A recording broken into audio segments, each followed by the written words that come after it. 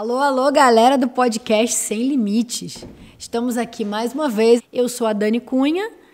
E eu, pastor Renan Lopes.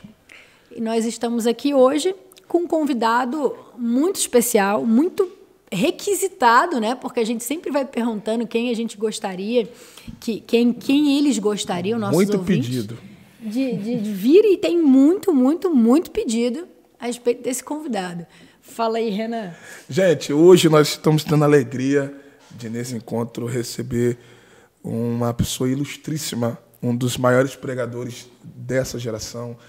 É, Eu sou suspeito de falar, porque você já sabe do meu amor pela vida desse grande, grande líder, um grande profeta. Existe uma geração antes dele e existe uma geração após a ele. ele literalmente foi um divisor de águas, principalmente na vida do pregador itinerante, mas além de, de ser um literalmente um marco, ele é responsável pelo que eu sou hoje. Se eu estou aqui, se eu sou um jovem pregador do Evangelho, é porque Deus usou a vida desse camarada para me abençoar, e não só a mim, mas toda uma geração. Eu estou falando de milhares, de milhares de pessoas no Brasil e fora dele. Ele que já são três décadas, 30 anos, pregando a palavra, levando fogo e avivamento para o Brasil e o mundo. Ele que é deputado federal, pastor presidente da Igreja Assembleia de Deus, Tempo do Avivamento, e cantor, né, compositor, escritor e Grande líder da poderia nossa nação. colocar aqui muitos outros adjetivos. E um dos maiores líderes evangélicos hoje dessa nação, um grande representante do reino de Deus. E eu falo nada mais, nada menos do que ele, pastor Marco Feliciano, que está nos, dando a honra de sua presença, sua ilustre presença no podcast Sem Limites. Pastor Marco, Uma alegria, Renan, estar aqui. Uma alegria, Dani. Obrigado pelo convite. Mas eu não sou nada disso que ele falou, não, viu, pessoal? Isso é porque eles têm que valorizar o podcast. Então, para valorizar, eles, eles criam, inventam um monte de historinha, né? Como é que eu sou um grande pregador? Eu tenho um metro e meio. né? O grande pregador é você, que tem quase dois metros. não, isso aí, né? Mas sabe que no reino, Renan, é, eu sempre falava sobre essa questão né, de grande pregador. Até que um dia eu parei para pensar e falei: não tem grande pregador, tem pregadores ungidos, Uau, pregadores que possuem uma grande unção. E isso acho que faz toda a diferença. Né? Faz, faz Porque- toda a E é diferença. isso que torna É só o senhor isso. grande. Grande no quê? Paulo, Gigante. Paulo, Paulo era, Grande, Paulo era gigante. pequena estatura, mas olha. Um a gigante na história fé, né? Um de- gigante e na o senhor, o senhor eu, eu digo isso com muito respeito. Eu acredito que o senhor seja o Davi dessa geração. Que Deus Meu levantou. Um, um- eu sou suspeito de falar. o, que, o- o que- o que não Mas é falta na minha vida são Golias. Viu? E isso, isso Golias, urso, Golias, urso, leão, Essa é- tudo que não falta na minha vida, por esse prisma eu sou Davi. Não, é sinceramente, luta Dani, eu vejo o pastor Marco, eu vejo ele como um Davi desse tempo que Deus tem levantado. É sim. uma, uma história grandiosa e não- ele, ele é porque ele é, ele é muito humilde, ele é isso aí mesmo, mas nós que, que, que estamos é, perto, longe, a gente que admira o pastor, eu digo isso porque no Rio de Janeiro o pastor Marco ele é quase uma unanimidade né, de é, pregador. ele é uma unanimidade. E tô falando de um lugar que é um celeiro. Rio de Janeiro tem Sim. muitos pregadores, muitos pastores, muitos líderes, mas é, na boca de, de- da maioria a, a referência é, o senhor. Então pergunte para mim, Dani, qual é o meu segredo? Qual é o seu segredo? É que eu aguento apanhar. É. Não sei bater, mas pense num camarada que tem um couro grosso. É. Porque a vida é assim. A vida é feita de, de lutas e labutas. E a pessoa tem que ser resiliente. Com E eu acho que eu venci em muitos aspectos da vida, Renan, por ser resiliente. Porque não faltou desespero, não faltou vontade de parar, não faltou quem quisesse me parar, críticos, etc., perseguições. Então, a resiliência é talvez o Constante. maior dom que Deus procure num ser humano. Deus não, Deus não usa, é, Deus não se importa se você é fraco ou forte. Ele quer saber se você tem coragem. Uau. Amém. Deus não É. se importa. Porque Amém. às vezes a pessoa é forte, mas não tem coragem. Às vezes Verdade. a pessoa é fraca, mas tem uma coragem gigantesca. E vai. Então, é. O que Deus olha no ser humano é a coragem dele. Se tiver coragem, é pegar na mão dele e os dois subir a montanha. É, fenomenal. E uma coisa que me marcou, assim, me deixou até arrepiada na fala do Renan, é, é o que ele falou, que tem uma geração antes do é, deputado, pastor, mas Marco, eu posso chamar carinhosamente de Marco, porque o Marco é um grande amigo e mentor meu também. Então, se eu pudesse. Assim, Agora, quem arrepiou fui eu. É ele, é ele. Me arrepiou. Eu, seu mentor. É um grande amigo, Oh, é um grande mentor.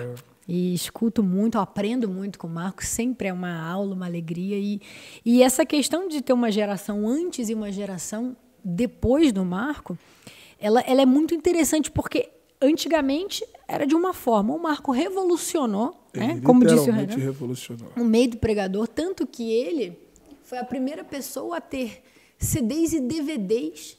Vendeu mais de um milhão de cópias, não é isso? São cerca de 30 milhões. 30 milhões de cópias. De DVD, VHS, Meu fitas Deus. cassetes e CDs de isso? mensagens. Só com levando a mensagem. E isso desde mais ou menos quando? Bom, eu comecei muito cedo, né? É, a gente ia Vamos- perguntar essa história. Senta que lá vem história. Conta, conta pra gente essa história, o Essa minha, a testemunho minha seu. história, Dani, é uma daquelas histórias assim que, que dá- é uma novela, daria um livro, né? Eu, essa semana, inclusive, eu preguei numa igreja e eu falei que existem seres humanos e seres humanos. Eu acredito que tem pessoas que nascem para uma grande missão específica, para algo fantástico. São pessoas que nascem de 100 em 100 anos. De vez em quando aparece um John Wesley da vida, um Spurgeon, um Moody, um Ben Hinn, um T.D. Jakes. Estou citando aqui pregadores, né? Sim, De vez em quando aparece. Então, eu acredito que eu nasci com uma vocação divina. Eu, mora, eu venho de uma família muito pobre, extremamente pobre. Pobreza abaixo da linha da razoabilidade. Né? Nós morávamos em 12 pessoas dentro de dois cômodos. Tem noção do que é isso? Não? Du- 12 pessoas em dois cômodos que não tinham mais do que 4 por 3 cada cômodo. Então, era muita gente para pouco espaço. Minha mãe era mãe solteira. Hoje, as mães solteiras é, é luxo, né? É, é a gravidez independente. É. Mas, há 49 anos atrás, era, um, era uma vergonha para a família. Né? Então, minha mãe era, ela foi mãe solteira com 17 anos de idade. Olha, E ela conheceu meu pai quando ela estava pedindo esmola na rua. Poucas pessoas sabem disso. olha só. Minha mãe, ela esmolava na rua. Porque ela era, ela, a mãe dela morreu muito cedo e o meu avô abandonou a família. Eles eram em cinco irmãos. Cinco? Calma aí. Um, dois, três, quatro, cinco. Cinco irmãos. Cinco? Cinco irmãos. Perfeito, cinco irmãos. Não, seis irmãos. Calma, que é muito. Família grande é, É, isso. família grande, é isso aí. A gente para, pensa, lembra a idade, lembra a condição. Aí a minha mãe, é, como os, os irmãos foram esparramados, minha mãe era mais velha, quando ela conseguiu um emprego, ela começou a juntar todo mundo. Só que ela perdeu o emprego no meio do caminho. Então ela começou a pedir esmola na rua. Na minha cidade tem uma fábrica que é muito conhecida, já foi conhecida a nível nacional, chama Brejeiro, que era o arroz brejeiro. Arroz brejeiro, o óleo de soja brejeiro, é muito conhecido até hoje. É sim. né? Sabe de onde vem a palavra brejeiro? De brejo, Brejo. porque o arroz se plantava em brejo, né? Então, minha- o meu pai era caminhoneiro e a minha mãe estava pedindo ali comida.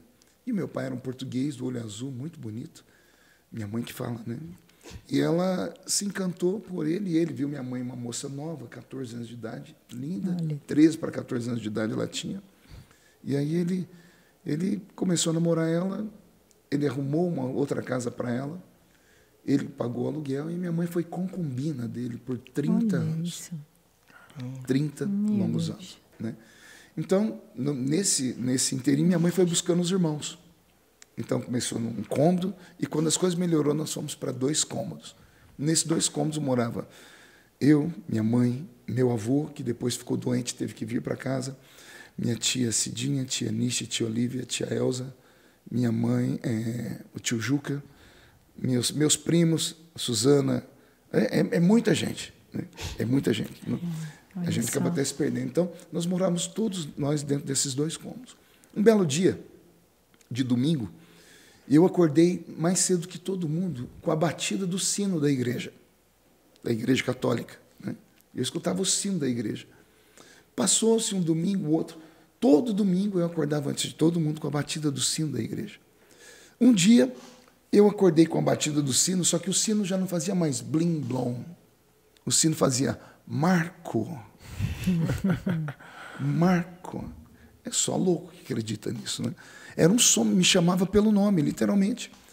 Aí eu não tinha muita roupa, eu me levantei, botei um shortinho, a camiseta que eu já estava, e saí de casa sem ninguém ver. E eu fui seguindo o som do, do sino. Cheguei na porta da igreja da paróquia Cristo Rei, igreja católica da, do bairro lá de, da minha cidade. O padre era o padre Ângelo, depois eu conheci, fiquei conhecido dele. Eu cheguei e sentei na porta da igreja, estava fechada. A missa era sete, isso era umas seis e meia. Eu fiquei sentado. Quando chegou a primeira mulher para abrir a porta, ela me viu. Eu acho que ela achou que eu era coroinha ou alguma coisa assim. Ela me deu os panfletos da missa, né, a liturgia da missa, eu fiquei na porta distribuindo. E eu fiquei ali. Aí, quando eu terminei de distribuir, começou a missa, eu sentei no banco e fiquei tentando ouvir. A missa era em latim ainda. Olha. Né? Escutava a missa tudo em latim, não entendia nada do que se falava. Claro. Quando terminou a missa, foi todo mundo embora, eu fiquei sentado no, no degrau da escada, porque eu não sabia ir para casa. Que eu saí procurando. Você foi no de acordo com o sino, é? Aí as mulheres cuidavam lá, tinha uma freira, elas me levaram para a casa das freiras. Aí na casa das freiras, bairro pobre, povo pequeno, cidade pequena, o povo começou a falar, boca miúda foi indo até que cheguei na minha casa. Me levaram na minha mãe. Chegou lá na casa da minha mãe, tinha polícia, minha mãe achou que tinha sido sequestrado, tudo. E aí as mulheres falaram para ela, ele tem vocação. Uau. Aí eu vou acelerar o processo aqui. Tem, isso tem na televisão, é, tem na internet, no YouTube, tem uma reportagem que o Cabrini fez comigo, um Sim. grande Cabrini. E o Cabrini fez uma reportagem da minha vida e eu contei essa história para ele. Ele quis conhecer a igreja. E quando ele chegou na igreja, eu mostrei para ele na igreja, tem a torre da igreja, detalhe, nunca teve sino. Olha. Nossa. Olha. A pessoa que ia dar um sino para a igreja, né? É, cidade pequena, os fazendeiros, empresários que dá, a pessoa morreu. Então a igreja tem a torre até hoje, mas não mas tem nunca tem o sino. Mas eu acordei com a batida do sino por várias semanas. Então eu fui escolhido por Deus para uma missão. Se eu não fosse pastor, teria me tornado padre. Mas eu ia ser um padre do barulho, né? ia ser um padre tipo Marcelo Rossi, Fábio de Mello. esses caras, sim. Com certeza. Então tudo começou assim. Então a minha vocação veio muito cedo. Com, eh, a, como eu fui para a igreja muito cedo, fui e gostei, não parei mais de ir. Todo domingo eu ia. Com oito anos de idade, eu comecei a fazer catecismo. Com oito E eu fiz a primeira comunhão, acho que fui o primeiro menino do estado de São Paulo a fazer a primeira comunhão com 10 anos de idade. Que geralmente é com 12. Né? Eu fiz com 10 anos, porque com 9 anos eu já dava aula de, de catecismo para os alunos. Quando a, a professora só. faltava de sábado, eu dava aula sobre a Bíblia. Olha eu usava, inclusive, uma Bíblia, chamava Bíblia Ave Maria, que era da patroa da minha mãe. da minha mãe, nessa época, era lavadeira, e a patroa dela me emprestou a Bíblia dela, uma Bíblia de capa azul. E eu li essa Bíblia inteira com nove anos de idade. Então foi, foi tudo muito precoce. Não entendia nada, tinha dificuldade para ler, porque a Bíblia tem muitas palavras difíceis, claro, claro. mas eu li aquela Bíblia inteira. Então eu, eu venho, eu, eu, eu, eu, desde que eu me entendo por gente, Deus, igreja e a sua palavra fazem parte da minha vida. Olha que bênção. É, não, é, é, e eu sei, assim, hoje, o Marco, como é meu amigo, eu já tive a oportunidade de a gente conversar muito sobre sua história, né? E, e toda vez que eu escuto, eu me emociona. E, e, você ali, você falou, encontrou Jesus, mas passou também por muitos outros momentos, oh, né? meu Deus, perrengues não faltou. Eu estava até falando aqui agora há pouco nos bastidores com o produtor aqui do podcast, que ontem, antes de viajar, eu fui na minha mãe, Dona Lúcia. Dona, Dona Lúcia. Lúcia que, oh, Dona Lúcia que me deu trabalho, né? Eu orei 30 anos para Jesus salvar minha mãe. 30 anos. Você que está assistindo, ó, não desiste da sua família. Se estabeleça, fique debaixo da promessa. Crê no Senhor Jesus e será salvo tu e a tua casa. Tem DVDs meus, mensagens, você que disse que me acompanhou muito. Já vi, vários. Deve ouvir eu falar assim: olha, irmãos, eu estou aqui hoje pregando, mas enquanto eu estou aqui, minha mãe está tá, no forró. Eu vi, dia da aprovação. Minha mãe é para o forró dançar. Né? Filho único de uma mãe solteira, sem nome de pai no documento, né? minha mãe indo para o forró da vida e eu pregando. Com e por anos. 30 anos orando, esperando o dia. E Jesus salvou minha mãe. Olha E eu batizei minha mãe tem dois anos e meio Eu agora. vi. Foi um dia assim, foi um marco na minha vida, né? Dona Lúcia aceitou Jesus, se batizou e logo ela adoeceu. Eu até fiz um videozinho, quem me acompanha deve ter visto a minha mãe falando, né? Que eu perguntando para ela se o que ela achava do cigarro. Porque hoje a doença crônica que ela tem é por causa do cigarro. causa do cigarro. Por mais de 50 anos fumando. Nossa. Meu pulmão dela é podre. Minha mãe está viva por um milagre. Aí ontem eu estive lá, eu fui medir a saturação dela, Dani, pra você ter uma ideia, estava 51 por Meu Deus. 110. 51 é a saturação de oxigênio no sangue isso? e 110 batida cardíaca. Nossa. Pessoas durante a pandemia com 60 É. já iam para Já intubação. iam, Era já intubado. iam pra- com Ela está certeza. viva por milagre. Ela fica com oxigênio todo dia. Aí ontem, eu sentei com ela para tomar um café e ela começou a falar do passado. Né? Começou a chorar ela e eu segurando, porque ela não pode ter emoção, forte que o coração acelera de novo. Mas ela não aguentou. Né? Ela contando da nossa vida. Ela lembrou que quando eu era menino, eh, eu engraxava, antes de engraxar sapato, eu vendia picolé. Né? Conhece vendedor de picolé? Eu fui vendedor de picolé. E ela contou que eu passava o dia inteiro vendendo o picolé, chegava, quando eu entregava lá, fazia o acerto com o dono da quitanda, ele me dava o meu dinheirinho e levava para minha mãe, dava na mão dela. Ela falou que quando eu dava na mão dela, ela- aí eu falava, mãe, agora me dá um dinheirinho para eu, eu chupar um picolé.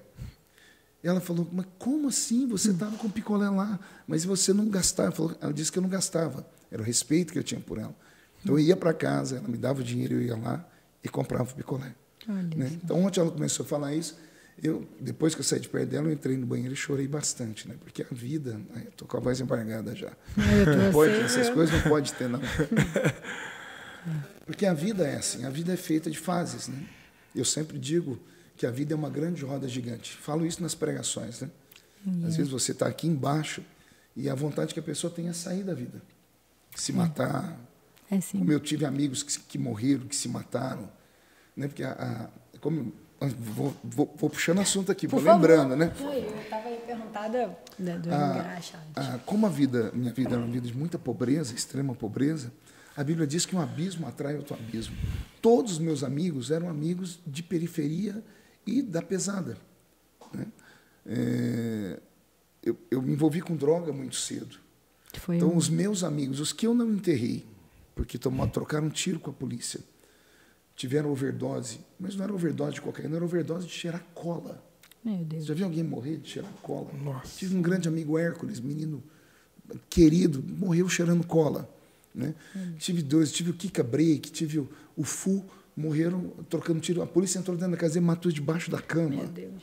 Então, é, esses eram os meus amigos. Né? Então, olha de onde Jesus me tirou. né? Tem um deles que hoje congrega comigo, e eu tive a oportunidade de consagrar ele a pastor, que o apelido dele é Deda, mas o nome dele é Leonildo. O Leonildo ficou numa cadeira de rodas por seis anos. Ele trocou tiro com a polícia e o tiro pegou não sei, na terceira ou quarta vértebra e paralisou as pernas dele. E aí eu fui na casa dele, evangelizei ele, com muita dificuldade eu levei ele para a igreja e Jesus foi, hoje ele anda, anda sem um apoio de muleta, ele saiu da cadeira, foi com a muleta e hoje ele é pastor de meninos drogados. Glória a Deus. Nós trabalhamos com, com recuperação de droga dependentes. Ele que pega e leva os meninos para casa de recuperação, que vai cuidar deles. Então, a vida era toda assim. né? Quantos anos você tinha, Marco, nesse momento em que você foi convivendo, todos os seus amigos do seu entorno eram de periferia, como você falou, mas você já tinha passado por um momento menor, pequeno, né, de, de conhecer Jesus, de fazer catecismo, de se entregar. Então, eu conheci Jesus na Igreja Católica. É, Eu sempre digo, na Igreja Católica é uma boa igreja, né? só que é, ela, ela não te deixa se aprofundar. Perfeito. O cristão católico ele é muito raso. Ele conhece mais o que o padre fala do que está escrito na palavra. Então, quando você não tem profundidade, o primeiro vento que vem te arranca da igreja. Né? E eu saí da igreja com 12 anos, porque foi, a- foi a idade que eu conheci os bailinhos. Né? Lá no interior chamava é, brincadeira. Vamos numa brincadeira? O que que era uma brincadeira? Numa casa, alguém tinha um aparelho de som, que era raro ter. Sim. Aí a pessoa colocava um disco lá para tocar, chegava os sofás para longe, ficava todo mundo dançando ali. Então, quando eu comecei a conhecer as danças, e não é para rir, se eu te dou um cascudo na cabeça. É. Eu, eu, eu amava break. E eu dançava break. Dá para acreditar? Olha isso, com 12 anos. Eu tô tentando imaginar. Ó, tem um. Que te videozinho pedi meu para no- dar uma palhinha aqui. Tem um videozinho meu no TikTok, eu, eh, eu fazendo o passo do Moonwalk, do Michael Jackson. Isso explodiu, você não, você não viu isso não? Tem Acho eu TikTok. vi, sim, acho que eu de terno e gravata, tava sem terno, tava de colete, gravata, tava lá nos Estados Unidos, um idiota que trabalha comigo filmou né? Eu vi esse e vídeo. soltou. Né? Então eu, eu sempre gostei de música. Então quando eu fui para essas brincadeiras, aí me levaram para os bailes. E aí nos bailes eu conheci as drogas. Né? Para não ser diferente dos amigos, Claro. É Aí, um... quando eu comecei a me envolver com droga, eu fui me afastando da igreja automaticamente. Né? Você começa. Você quer curtir a vida. A palavra era essa, queria curtir a vida. E eu, não foi muito tempo, também. ainda bem que não foi muito tempo, porque senão eu estaria morto. né? Com 13 para 14 anos, em 1987, fevereiro de 1987, uma semana depois do carnaval, um amigo meu, que eu, eu trabalhava numa empresa chamada Agropecuária J. Mendonça. Eu era office boy. Na verdade, era um office boy abaixo dos office boys, porque eu era guarda-mirim. Guarda, Mirim. O guarda-mirim era uma entidade que tinha na minha cidade, cuidada pelo Lions Club e o Rotary, que ajudavam filhos de famílias extremamente carentes. Né? 90% dos guarda-mirins ou eram eh, filhos de mãe solteira, ou eram meninos sem pai e sem mãe mesmo, criados por, por amigos ou em instituições assim. Então, eu, eu fui guarda-mirim e eu trabalhava no agropecuária J. Mendonça, no escritório, e eu me lembro que eu, eu fazia o arquivo, né? Olha, eu sou da época de arquivo ainda. Mas era pilhas, porque o dono da agropecuária tinha, na época, acho que umas 20 fazendas. Então, do- todas as notas de, de implemento, de, de- era, eu passava o dia todo sentado no chão, não tinha uma escrivaninha para mim, e eu ficava mexendo com o arquivo. E na mesma sala ficava um rapaz chamado Ronaldo, e o Ronaldo trabalhava com uma máquina elétrica desse tamanho, acho que é o tatataravô do computador. né? Era uma máquina de contabilidade, onde fazia todos os lançamentos né, para fazer a contabilidade das empresas. E eu estou ali mexendo com, com, com arquivo, sentado no chão, e o Ronaldo começou a assoviar. A melodia que ele assoviou, ela entrou dentro do meu coração, e eu tive uma crise de choro. Do nada. Quando ele me viu chorando, ele, ele parou, ele veio e falou, você está bem? Eu falei, estou. Você está chorando por quê? Eu falei, não sei. Você começou a assoviar, eu comecei a chorar. Aí ele falou assim, você sabe que eu estou assoviando? Eu falei, não. Eu estou assoviando um hino, um louvor. Aí ele falou, você quer ouvir eu cantar? Eu falei, quero. Aí ele cantou para mim, Deus está aqui. Estou com a voz muito afônica, né? senão não dá, eu até ia tentar cantar. Conhece esse corinho? Deus está aqui, aleluia. Tão certo como o ar que eu respiro. Então, ele assoviou essa melodia. E isso entrou dentro do meu coração. E ele percebeu que o meu coraçãozinho era, era, um, era um solo fértil. Quebrantado. E ele começou a plantar Jesus dentro de mim. Graças a Deus. Ele, ele sabia já que eu ia para as quebradas, né? Ele falou: você não precisa disso. Ele sabia que eu era filho de mãe solteira, que eu carregava traumas por isso, né? que eu era muito pobre. E ele foi trabalhando, trabalhando, até que um dia ele me chamou para ir num culto, numa quinta-feira. E eu fui no culto na quinta-feira. Igreja Evangélica Assembleia de Deus, na Avenida 11, número 811, na Uau. cidadezinha de Orlândia. Orlândia. Né? E eu cheguei no culto, era o famoso culto de Pedro, Tiago e João. culto não vai ninguém no culto. vai lá meia dúzia de gato pingado na igreja. E eu estava lá. E o culto pentecostal, né, Dani, ele é carregado de misticismo. O misticismo nosso, né, que quem está me ouvindo, por favor, não, não pense que eu estou pregando heresia, né, é aquilo que é sobre-humano. Né? Tudo que é sobre-humano é místico. Não importa se é o espírito do homem com o espírito de Deus unido, ou se é o espírito do homem com o espírito do mal unido. Tudo isso é místico. E sentou do meu lado um rapaz, depois fiz amizade com ele, chamava Márcio Sestari. O Márcio era, por, por incrível que pareça, ele morava no mesmo bairro que eu e a gente não se conhecia. Ele morava uma rua perto da minha. E o Márcio era um menino muito pobre também. Tanto que ele só tinha dois dentes na boca naquele culto. Eu olhei, eu vi dois dentinhos na boca, eu falei, é o zagueiro e o atacante. e o Márcio, ele, ele era muito fervoroso, né? Estava pregando, pregando lá o presbítero, o irmão Jonas. Eu não sei o que ele pregou, não entendi nada, porque eu nunca tinha participado de um culto pentecostal. Né? E eu só sei que esse homem pregava, ele dava uns pulos para cima. Tinha hora que ele, que ele parecia lutador de, de Kung Fu. Né? Ele esticava o braço para cá. Eu falei, mas o que, que é isso? Aí um Márcio aqui do lado, cada, cada vez que ele fazia uma coreografia lá, um Márcio aqui falava umas coisas que eu não entendia nada. Mas me arrepiava tudo. Eu até me afastei dele, porque eu achei que era uma coisa esquisita. Né? Porque eu morei do lado de uma pessoa que ela recebia encosto. Né? Nós moramos numa casa de parede meia né? que era essa casa de dois cômodos, dois cômodos para cá morava outra família, era uma parede que separava. E o homem de cá ele recebia uns encostos lá, que ele caía, quebrava toda a casa. Eu morria de medo.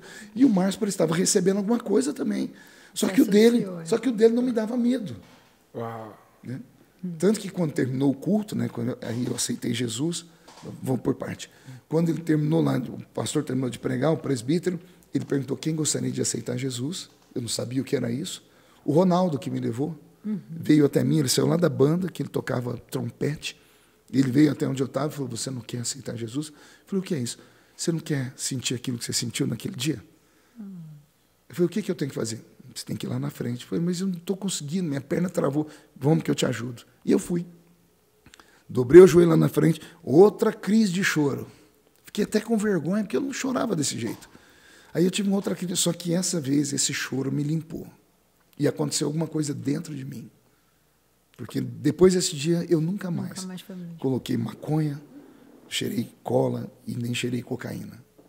Aconteceu algo sobrenatural. Não precisei de, de ir para instituição nenhuma. Aconteceu ali, naquele dia, naquele momento.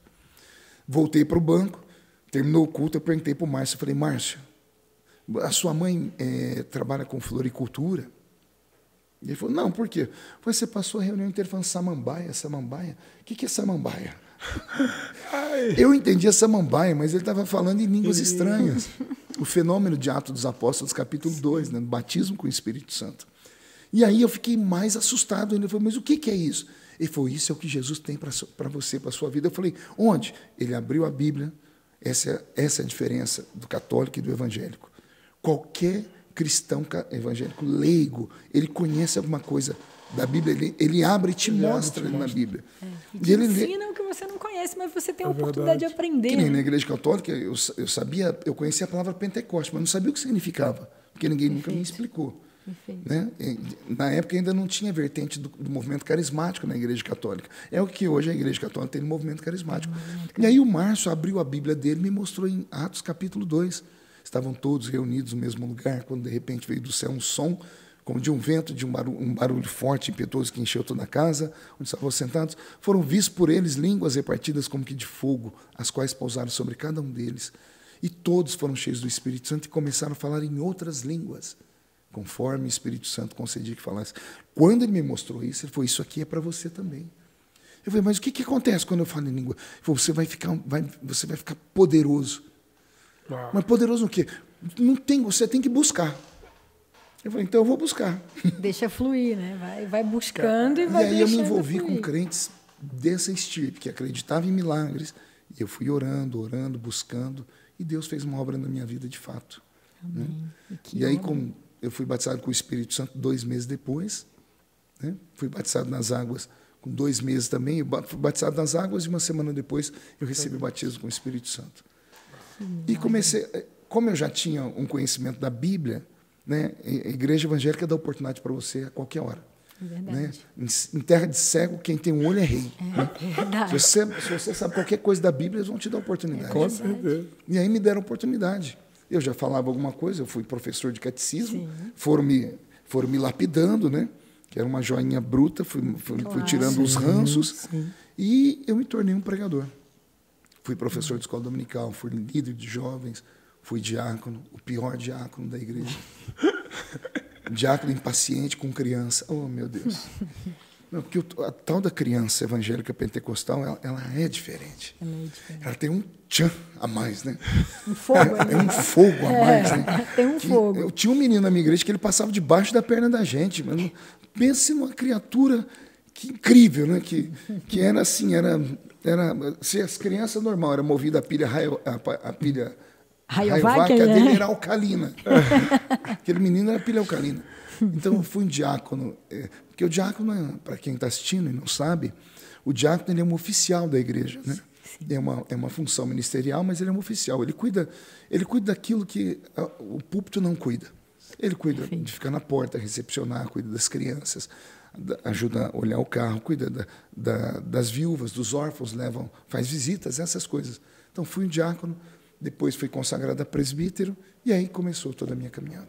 Aliás, a minha é, caminhada é. começou como diácono. É. Sim, sim. Como Sua caminhada começou no sino ali, né? Uma, a verdade é essa. Tem uma experiência que eu gosto muito da vida do pastor Marco, que foi o, o na verdade, a, a sua chamada para esse movimento é, ah. pentecostal, que digo, é, é, o teu ministério, tá. que foi aquela experiência que o senhor teve na, na, na janela. Posso contar? Por favor.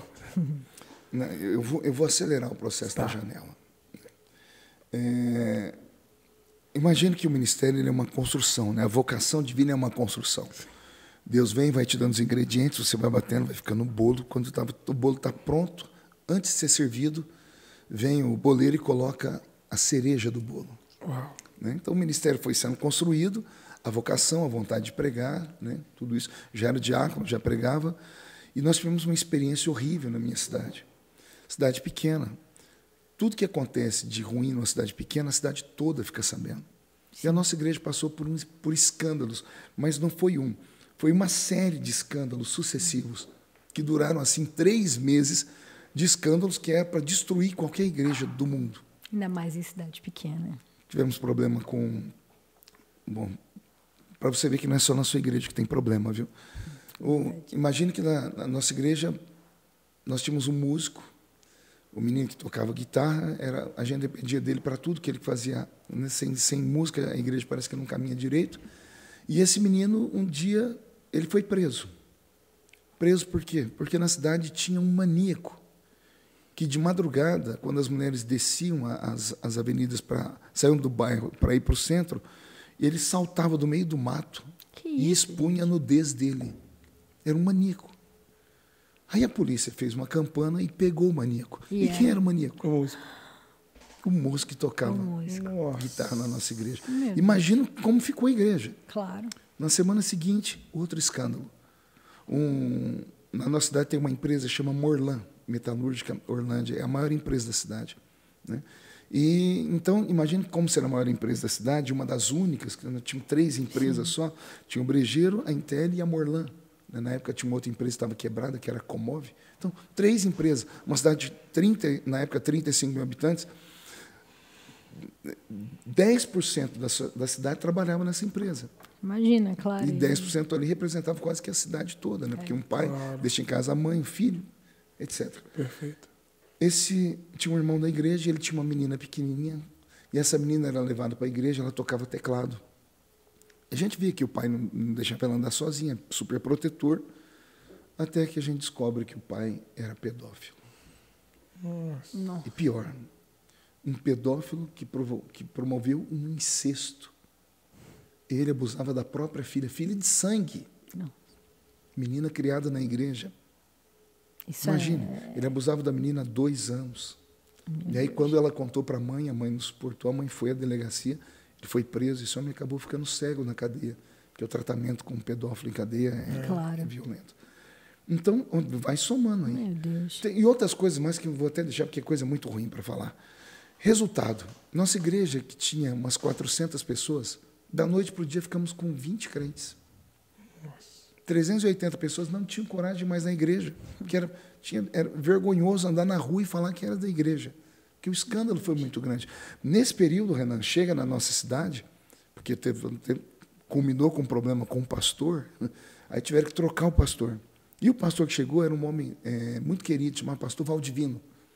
E o pastor Valdivino, ele era lá do Nordeste, e ele tinha um jeitão dele de falar, né? A gente do Sudeste não era muito acostumado, interior. Hum.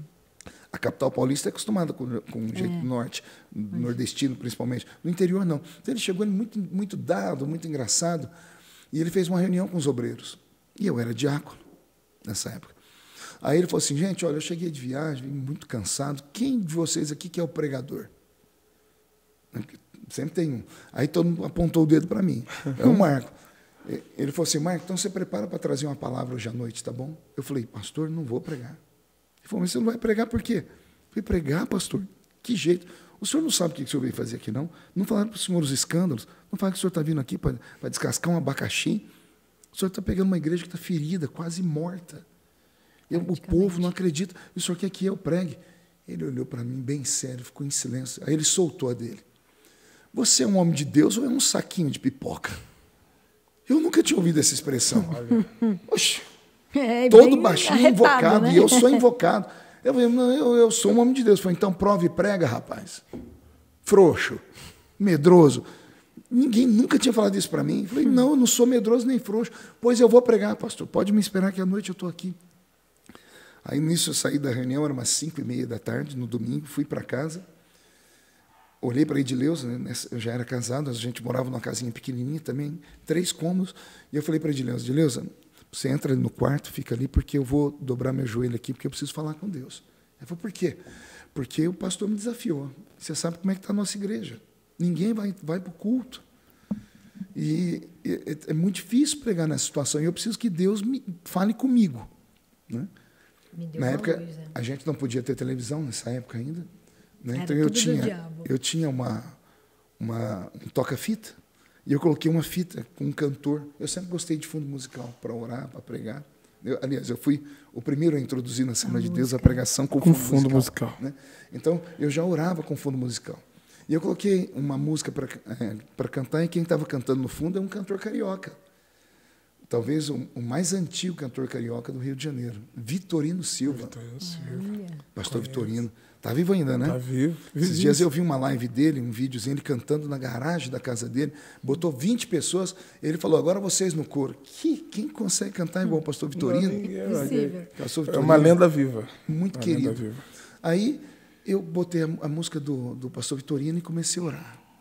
Minha oração não durou cinco minutos. Eu falei, Deus, o Senhor nunca me deixou sozinho, mas hoje eu preciso de algo mais. Eu preciso de um sinal de que o Senhor está comigo do encosto do sofá saiu um vento quente, mas um vento forte, que bateu na minha testa com uma violência tão grande que me jogou para trás. Eu caí para o chão e não consegui mais abrir o olho. Eu, sabe quando você está, não sei se você já tiver experiência, você tem uma luz muito forte, você está com o olho uhum. fechado, fica tudo vermelho, que você vê a luz atravessar a pele, meu olho ficou desse jeito. E meu corpo todo arrepiado foi me dando um medo, um calafrio, um temor eu, eu fiquei em posição fetal, igual um feto, debaixo da mesinha de centro da sala. Falei, Deus não me mata. O que, que eu fiz de errado? Eu sentia que era a morte que estava chegando. Porque era muito forte. E não foi a morte. Do meio disso saiu uma voz. Aquela voz que a gente escuta quando recebemos a chamada. E ele falou comigo: não é a morte. Hoje eu te dou um ministério de fogo para as nações. Onde você não for, a sua história irá. Olha. E eu vou levantar um exército através da sua vida. Deus fato. falou comigo. Quando eu consegui abrir o olho, voltei em mim, eu estava chorando. Para mim não tinha passado cinco minutos. Né? Quando eu levantei, tinha passado mais de 40 minutos, quase uma hora, nessa epifania. Né? Essa é a palavra usada. Então, foi uma epifania, foi, foi um toque transcendental divino. Né?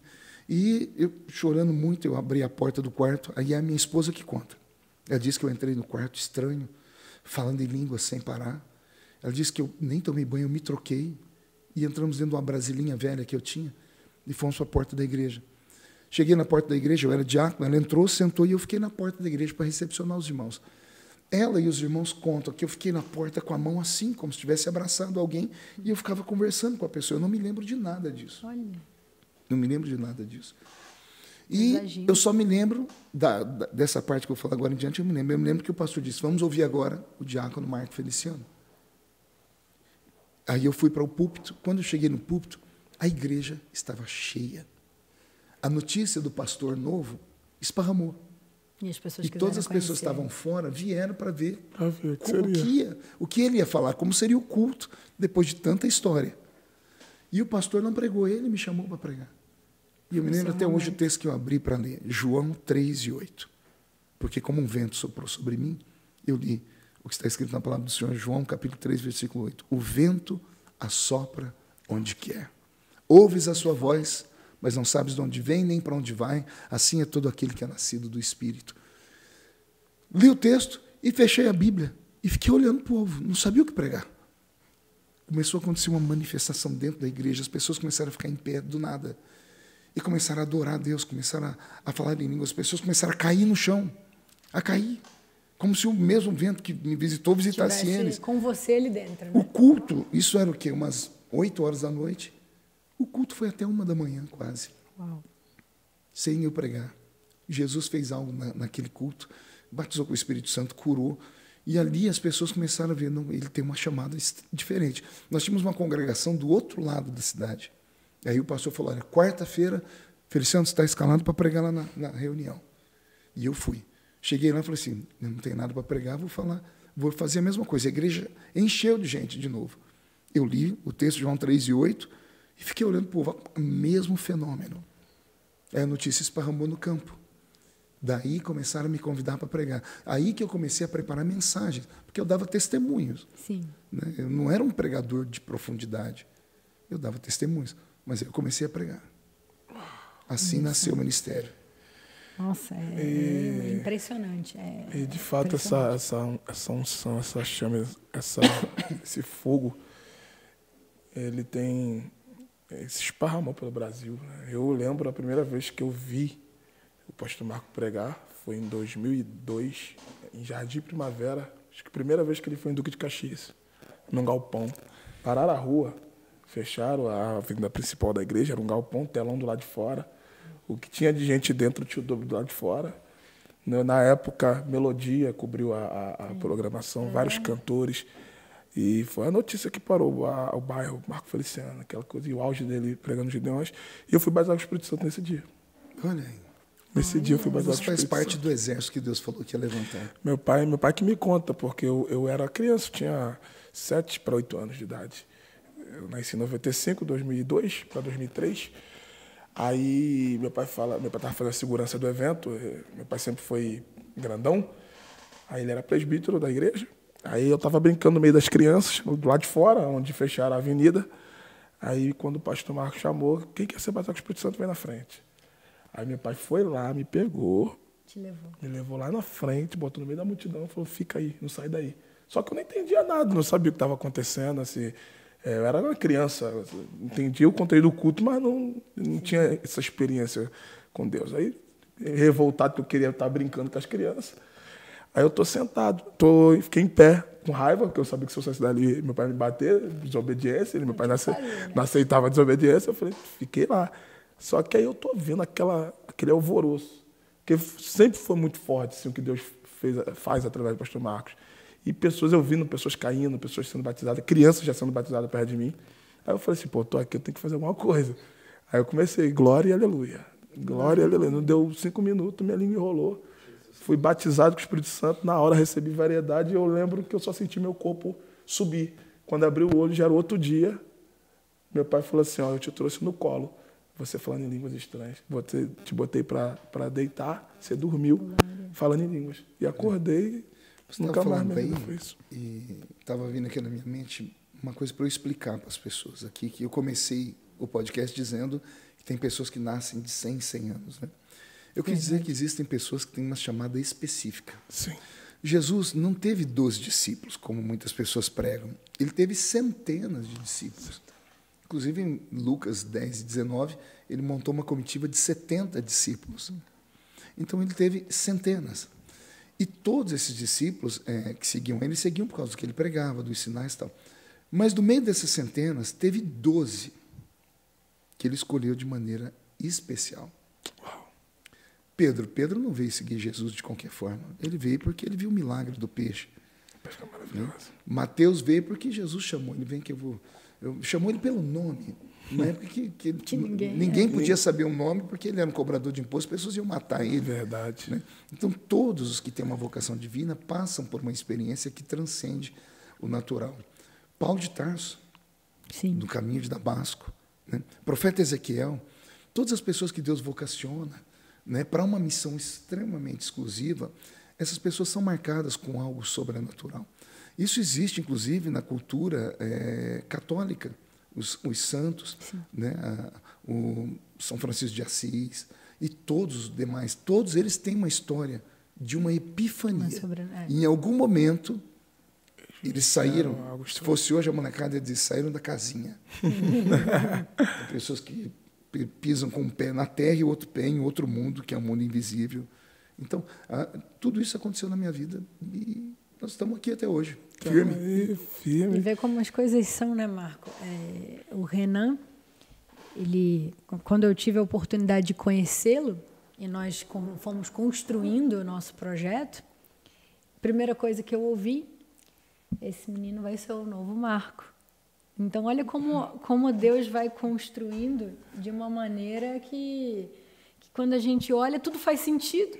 E a gente está aqui sentado nessa mesa, falando. Certamente todo mundo aqui já se conhecia, Sim. todos têm história, mas assim, olha como a presença de Deus ela, ela vai juntando. Vai junta as coisas. E é, no momento certo, né? Na minha, na minha vida, assim, eu, eu, eu digo isso para todo mundo, você sabe disso também, falei um pouco para o pastor Marco. Assim, eu tenho muitos pastores como referência, tenho meu pai, que, que eu. Assim, a minha primeira, o meu primeiro contato com a pregação a partir do meu pai. Mas, assim, a história que eu tenho com o pastor Marcos é, é muito forte, porque, de fato, o pastor Marcos ele sempre foi uma, uma direção para mim, muita coisa na minha vida.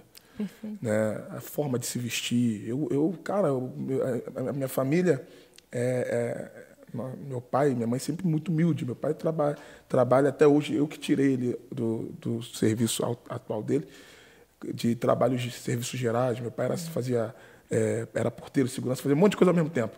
Minha mãe faxineira. Então, assim, a gente sempre foi muito limitado. Então, eu pedia meu pai terno. Minha mãe não tinha, de, não tinha condições para comprar terno. É, eu pedia à minha mãe, mãe, quero suspensório perturbava de aniversário, suspensório. Ele não tinha dinheiro, nunca tinha, nunca tinha, não, não podia. Aí eu falar, aí quando eu conheci os Gideões, que a primeira pregação do pastor Marco que eu vi em, em, em, em DVD foi a dia da aprovação, fora as outras que eu vi de fita cassete, CD, eu ouvi o CD do pastor Marco, eu fui comecei a catar tudo que eu podia dele.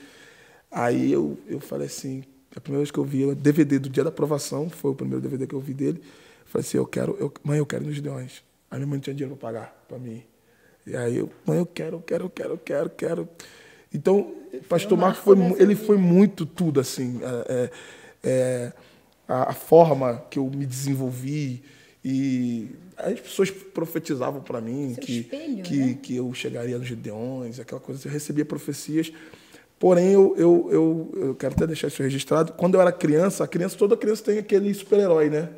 O, o Superman, é, um desenho. Um, e eu, quando era criança, sempre fui uma criança normal, que eu nunca gostei de desenho infantil. assistia porque, como toda criança, meu, meu irmão assistia, eu assistia com ele. Sim, Agora, a pessoa que eu colocava como um herói para mim era o Marco Feliciano. É o homem de terno, não é o homem de casa. De juntar, de juntar DVD, de juntar coisa, foto. A primeira vez que o pastor Marco pregou em Campos Elíseos, onde eu, onde eu morava, Logo depois, ele foi em 2002 em Jardim Mavera, Campos Elíseos é do lado. É do lado. Foi em 2006. Ele estava em Teresópolis e ele só chegou para pregar meia-noite no Congresso. E o povo, todo mundo ficou, aquela multidão, e chegou para pregar para mais de 5 mil pessoas. E eu lá esperando ele. Aí eu tive uma estratégia. O culto começa. Começava. É, começou que hora? Começou de 17 horas, estava lotada. O 5 da tarde. O normal era acabar às 9. Era acabar às 9. Aí o pregador chega meia-noite. O senhor chegou meia-noite, que o senhor estava vindo. isso, não faça. não faça. Aí eu lembro, eu lembro que o, o pastor, na, na, época, preocupado, o pastor Melquisedeque preocupado por causa do congresso, que, que, com medo né, do pessoal achar que ele ia furar, aquela coisa toda. Aí o senhor fez uma ligação de rádio. Aí botou no microfone, aí o senhor falou assim, ó, avisa o povo que eu tô chegando, que não sei o que, vai ter aquela voz, aí o povo. Ah! É. Aí o povo esperou. Aí eu tive uma estratégia naquele dia. Eu falei assim, cara, eu preciso ter um contato com ele. Porque eu, eu, eu era muito fã, aquela coisa toda. Eu falei, cara, eu tenho que ter uma, uma estratégia sem ser sem ser uma pessoa é, é, de, de se destacar. chata. É. Não, eu, sem ser chato, eu preciso ter um contato com ele, sem ser Sim. aquela pessoa ali, é, é, sem ser invasivo. Uhum.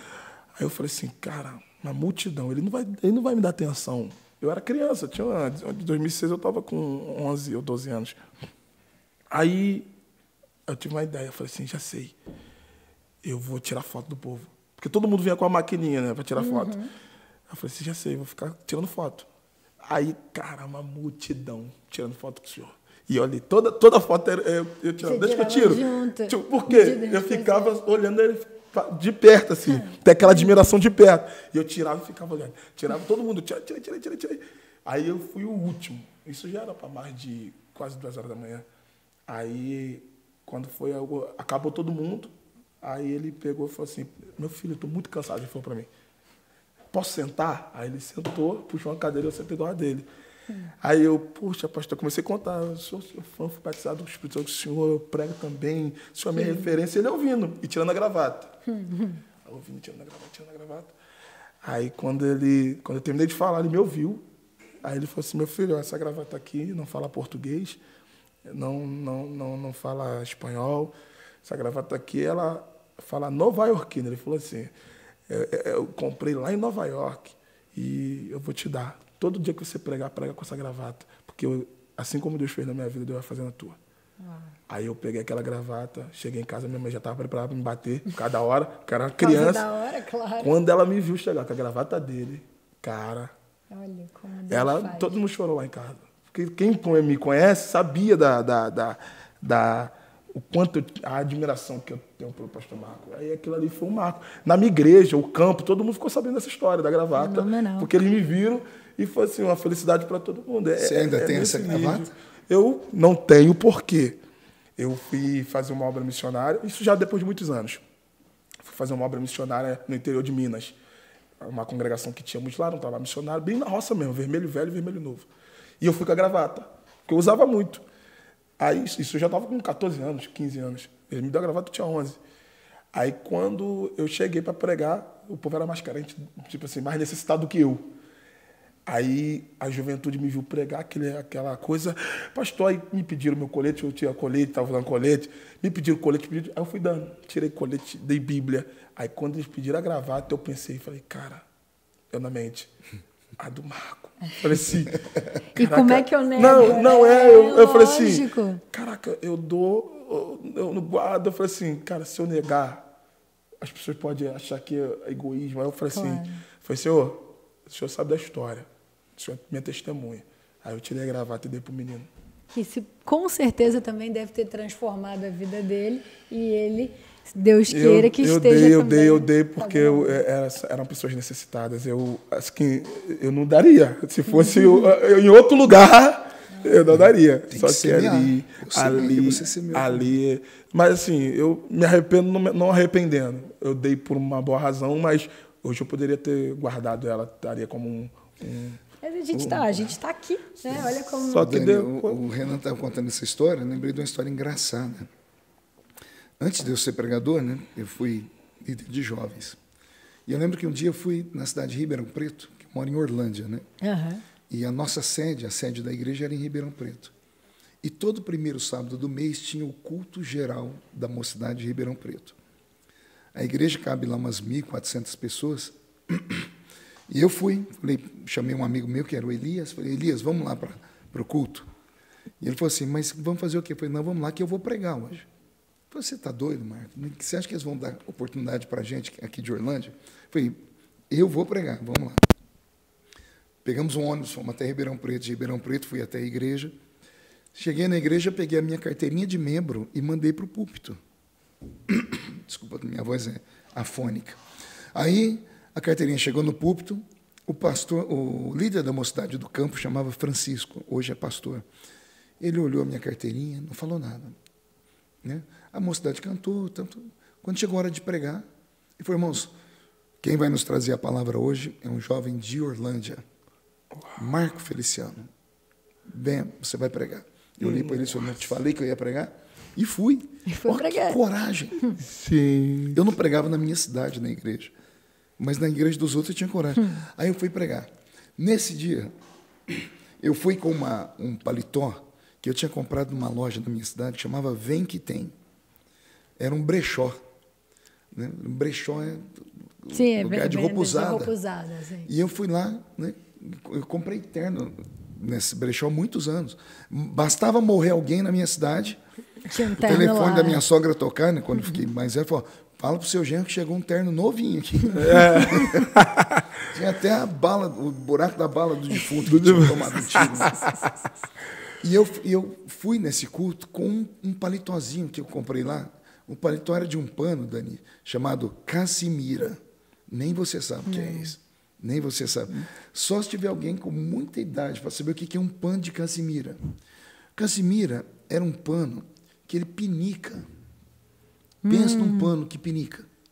E aí eu não tinha camisa de manga comprida, estava com uma camisa de manga curta, uma gravata, uma, uma vizinha nossa tinha dado nó para mim, uma gravatinha de crochê, que eu estava roxo, que ela deu nó, que eu acho que ela Nossa. queria me enforcar. E eu cheguei com aquele paletó. Quando eu cheguei no púlpito, eu fiquei nervoso e comecei a falar muito rápido, fui transpirando. Quando eu comecei a transpirar, eu comecei, começou a coçar. Foi- a alergia foi crescendo. E né? não podia tirar paletó nessa época. Não podia. Então, amigo, eu comecei, e aí eu comecei a falar mais rápido ainda. Foi o break, também foi dançando break Cai- ali, se mexendo. Mais ou menos. Caiu uma glória naquela igreja. Olha. O povo ficou em pé, adorou. Terminou o culto, virou o meu nome esparramou em Ribeirão Preto inteiro. O meu apelido foi Tochinha. Tochinho. Era um menino de fogo. Aí, eu de- na semana seguinte, eu perguntei para um amigo, né? Por que estão me chamando de Tochinha? Foi, porque você é um moço de fogo, mas por quê? Foi, porque ninguém nunca tinha visto um menino tão fervoroso igual você, daquele jeito no púlpito. Falei, fervoroso como? É, você gesticulava e fazia assim. e eu caí na risada, falando, ah, se ele soubesse. Tem que usar o paletó de novo, né? É. Eu não estava sentindo nada, não recebi nada, não era, era porque Você estava se pinicava. Ne- O negócio pinicava e eu comecei a levantar a mão e fiquei. Os irmãos achavam que era manifestação. Você falou do terno, né? E- você pediu um terno, eu lembrei dessa história. E, Marco, falando dessa chama. né? Registra aí. É um bom registro. E falando da tochinha e da chama, tem uma chama também que, que acendeu em você e hoje também te permite a ser uma grande voz nossa, né, do nosso público nesse país. Eita. Eu queria entender, assim, falamos disso porque, como a vida é, né? Renan, da mesma forma que segue seus passos, também teve seu chamado e eu também tive o meu, mas a gente quer ouvir o seu. Como foi esse, esse momento de transição? E depois falamos também porque foi muito atordoado esse período, não Meu foi? Deus, nem, nem fale. Que rufem os tambores aí. Pessoal, tudo começou em 2004, quando eu fiz uma pregação no Gideões, que ela acabou me custando muito caro. O que eu preguei lá? Eu disse: se algum dia vocês me verem na política, saibam que eu me afastei do Evangelho e perdi o rumo na minha vida. Acho que para pagar a língua, né? Deus te colocou e falou: agora vai a ser. palavra sai, ela não volta. Eu falei isso em 2004. Em 2006, a Câmara dos Deputados votou um projeto numa quinta-feira, assodadamente, que era o projeto PL 122 de 2006, que é a lei da homofobia. Perfeito. A lei da homofobia ela é, ela é muito complicada. Ela é até hoje. Porque não, ela, não, ela, não, ela não é muito clara no que é homofobia. Homofobia é violência? Homofobia é preconceito? Homofobia, o que é homofobia?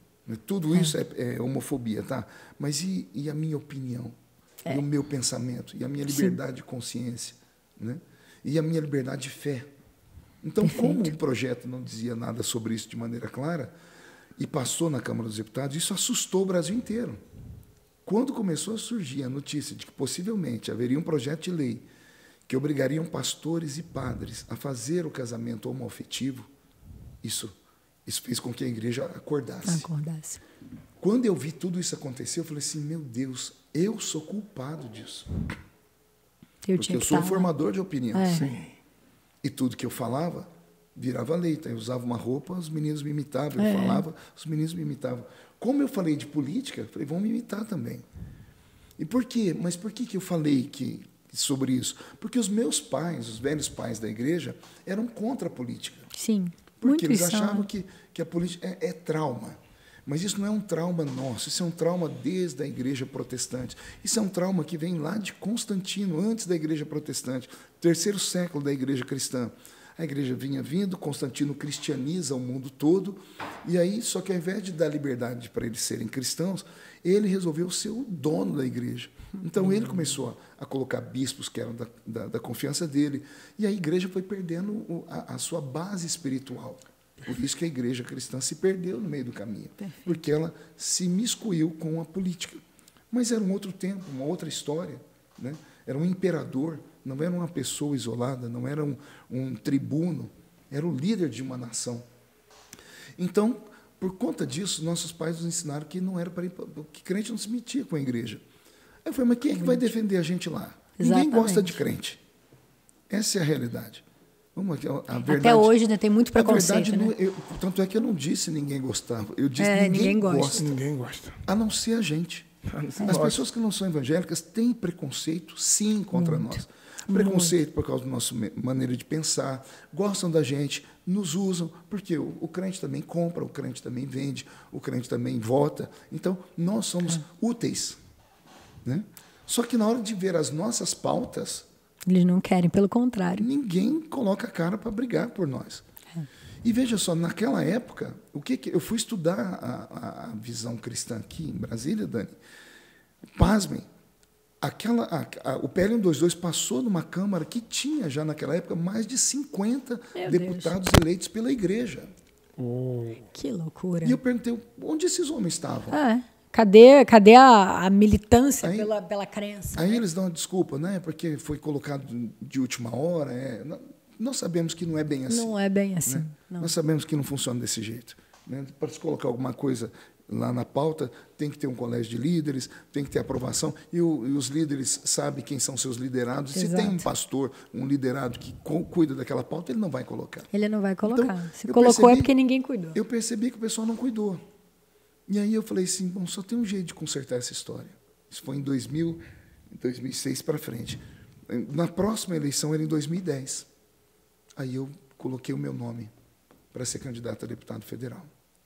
É, me, me filiei na época ao PSC, que era o Partido Social Cristão, que tinha uhum. tudo a ver comigo, né? Claro. E me lancei. Eu me lembro até hoje que Gilberto Nascimento, que é deputado federal, perguntou: mas você acha que você faz quantos votos? Eu falei: eu não sei. Hum. O suficiente mais um, tá bom. Suficiente mais um é o suficiente. É. E era uma, desculpa, era uma incógnita. Eu apanhei demais da conta. Na época já tinha internet, eu tinha Orkut, é. na época eu estava começando com páginas, e o pessoal começou a falar, mas a igreja vai perder um profeta. Feliciano se perdeu. O homem que vai para a política é porque não tem mais temor a Deus. Vai perder a unção. É, mas eu apanhei de tudo quanto é lado. Em vez de ser igreja, as vai ganhar um líder. Né? As portas começaram a se fechar. Mas por que eles falavam isso, Dani? Porque já, nós já havíamos tido experiência de alguns pregadores que vieram para a política, política, e não deram continuidade no seu ministério. Sim. Tiveram Perfeito. que fazer uma opção, porque é muito difícil. Eu vou falar para vocês aqui o preço que eu pago para permanecer. Não é fácil. Né? Porque você não consegue fazer duas coisas ao mesmo tempo de maneira com excelência. Ou você faz uma coisa ou você faz outra. Claro. Então, alguns que vieram se tornaram políticos de verdade. Ao se tornarem políticos de verdade, abandonaram o púlpito, abandonaram as, as pregações, etc. Então, a igreja tinha medo disso. E fica rechaça dos dois lados, né? Aquele que rechaça por ser da igreja e o outro que rechaça porque você está ali é evangélico, né? Pronto. Eu não tinha apoio de nenhum grande líder, de nenhuma grande instituição evangélica. Né? Quando souberam que eu era candidato, fecharam todas as portas. Por quê? Nessa época, como já tinham 50 deputados evangélicos, as igrejas evangélicas tinham seus candidatos. Tinham seus candidatos. Então, se eu fosse pregar naquela igreja, a igreja... Você estaria tirando, em tese... Isso, isso acontece até os dias de hoje. É, né? Isso é uma... É, é, Digo, inclusive, é a mão experiência de Deus, própria. Né? As é. portas vão se fechando, mas veja só, é natural que isso aconteça. Eu, eu, não culpo as igrejas que fecharam as portas para mim, né? Sim, sim. porque a igreja ela é uma organização e ela tem a, a, a sua diretriz interna. Perfeito. Perfeito. Internamente, ela falou: nós vamos, nós vamos com essa pessoa aqui. Se elas me colocam lá dentro e o povo me vê pregar, crente é espiritual. Eles vão esquecer o outro. Vão, claro. Verdade. E vão votar em mim. Com É verdade. certeza. Né? Então, que Como quer dizer? votaram muitos, né? Mesmo você não estando lá dentro, O que, que aconteceu? As portas fecharam, então o pessoal falou, ele não vai ser eleito. Mas aí eu já tinha um trabalho de mais de 20 anos pregando. 20 anos plantando. 20 anos com milhões de DVDs esparramados. Ajudei a transformar a vida de muitas pessoas pela, pela unção de Deus. E eu falei, eu me lembro que na véspera da eleição eu não tinha dinheiro. Eu fiz uma campanha sem papel, não tinha nada. Eu, eu acho que me deram lá, quanto? Acho que foi 50 mil, 100 mil papelzinho. Você Como é tinha a sua história, né? Vai ser. o que aconteceu? Eu fui orar na véspera da, da, da eleição, passei a noite no monte, falei, Senhor, só tem um jeito de eu ganhar, o Senhor fazer os crentes lembrar de mim. Né? É. E aí a boca miúda foi indo, eu saí na televisão umas duas vezes, os irmãos anotaram meu número. Resultado, 212 mil votos Olha. na primeira eleição. Fui o 12 deputado mais votado de São Paulo e, naquela época, o primeiro mais evangélico mais votado, não, o segundo evangélico mais votado do Brasil, que naquela época elegeu An- Antônio Garotinho, que também era, era evangélico na época, né, que ele Sim. usou a bandeira Usou da igreja. bandeira. Né? Então eu fui o segundo. Isso assustou todo mundo. Inclusive alguns, alguns evangélicos famosos aqui do, da- do nosso meio Da me casa. chamaram líderes. Onde é que você arrumou tanto voto? As pessoas não entendem, né? É, o coração do povo. Né? A sua história. fui para a política, me elegi, vim para Brasília. Cheguei em Brasília, tive um tédio, um tédio, porque sempre acostumado a fazer a diferença, acostumado a chegar no lugar e as pessoas me darem atenção. Aí você chega num ambiente que tem 512 além de você, Do Brasil inteiro, do é? Brasil, você é só mais um. Né? Aí eu descobri que tem um deputado de baixo clero. Eu não sabia o que era isso. Me descobri depois que é o deputado que não, não faz nenhum tipo de diferença a sua presença ou a sua ausência. Ele é só um voto. E aí eu falei, mas calma aí, isso aqui não é para mim, não. Aí eu falei, não, não, tem que dar um jeito. Aí eu falei, não, eu, eu vou, eu vou. Levantei minha equipe, falei, vamos mapear aqui em Brasília. Chamei a minha assessora, que eu não sabia de nada, falei, tem como a gente ver os, os processos que estão sendo tramitando por nome, por palavra? Se eu jogar uma palavra-chave, foi, existe, deputado. Sim. Foi, então, levante todos os projetos que falam de família, liberdade religiosa e outras coisas mais. Resultado. Em seis meses nós tivemos um papel na mão, 1.300 e poucos projetos que feriam a igreja, a família e a nossa liberdade. Quando eu vi aquilo, eu chamei os deputados evangélicos que tinham sido eleitos comigo, aí criamos um grupo e cada um foi indo para um canto. Aí nós começamos a travar as pautas dentro da casa. Eu não conseguia eleger, não conseguia aprovar pauta nenhuma minha, mas eu Mas também conseguia não deixava aprovar as bloquear pautas as pautas. Né? E aí eu tomei gosto por isso, mas mesmo assim ainda estava entediado. Final de 2012, Dani, já estava dois anos como deputado, eu estava nos Estados Unidos, e eu falei para minha família, olha, eu vou renunciar, porque eu sou muito mais útil no púlpito do que em Brasília. Não tem nada de novo. Aí cheguei lá em Brasília, ah, cheguei lá nos Estados Unidos, eu tenho um pai de oração. Liguei para ele falei, chama ele de Derry.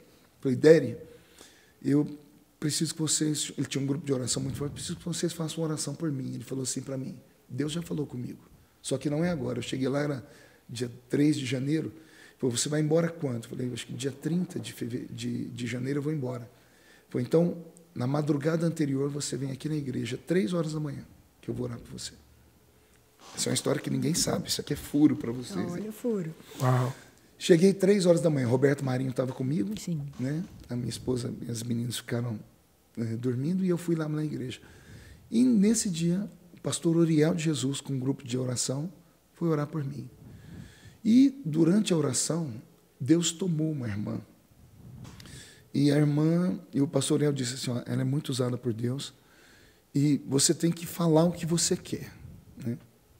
Eu falei, não, velho, não vou falar porque Deus sabe o que eu quero. Eu falei, então vamos lá que ela vai orar por você. Quando ela começou a orar, ela abriu o olho e disse assim: Você tem certeza que é isso que você quer? Na segunda vez ela gritou: Você tem certeza que é isso que você quer? Então vai. Você quer mesmo? Pois então anote: dentro de 30 dias, eu sopro o seu nome no mundo, Olha só. Só que você vai sofrer. Aguenta. e parou de falar. Eu olhei para o pastor Uriel e ele falou assim: escreve cada palavra e viva. Saí dali e falei: o que, que essa mulher falou, meu Deus? Eu, eu, eu conhecido no mundo inteiro como político, que jeito? Ainda mais ele com tantos isso, naquele isso momento. Isso já era janeiro de 2013. Né?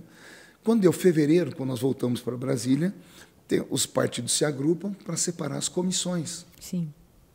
Na hora de separar as comissões, o nosso partido, que era o PSC, era um, um dos partidos, partido nanico, ele tinha que entrar num blocão, né? e nesse blocão iam dar para a gente um, uma comissão, mas só por estar ali, mas seria uma comissão pequenininha. E naquela época o PT, que sempre cuidou da Comissão de Direitos Humanos, abriu mão da Comissão de Direitos Humanos para ficar com uma comissão mais importante, porque era, no ano seguinte era ano eleitoral. E, o, e a Comissão de Direitos Humanos veio parar em que partido? No PSC. Partido Social Cristão.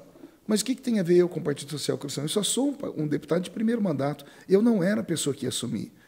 No dia seguinte, que sai essa história que possivelmente a Comissão de Direitos Humanos ia ficar com o PSC, um deputado, que eu me nego a falar o nome dele, eu só digo que ele é o deputado BBB, ele, ele postou um tweet dizendo assim: só faltava entregarem a Comissão de Direitos Humanos para o pastor Feliciano, que é um fundamentalista radical. Quando ele postou isso, isso esparramou a imprensa, deu Feliciano vai ser. Eu não era nada. Aí, quando ficaram sabendo, o partido entendeu o marketing me chamaram e disse assim, ó, vai ser você. E foi você, olha. Uau. Você vai ser. Só, só, que eles sabiam que ia dar zica. Foi um Deus, período de tormenta. Meu, meu, Deus do céu. Vocês sabem que eu passei. Foram 90 dias de Jornal Nacional. Em 90 dias teve mais de 60 manifestações contra mim em 60 embaixadas brasileiras fora do Brasil. No mundo inteiro. Manifestações contra mim. Foi a primeira vez que a esquerda é, se mobilizou mundialmente para atacar a direita conservadora. Porque o Brasil era o último bastião.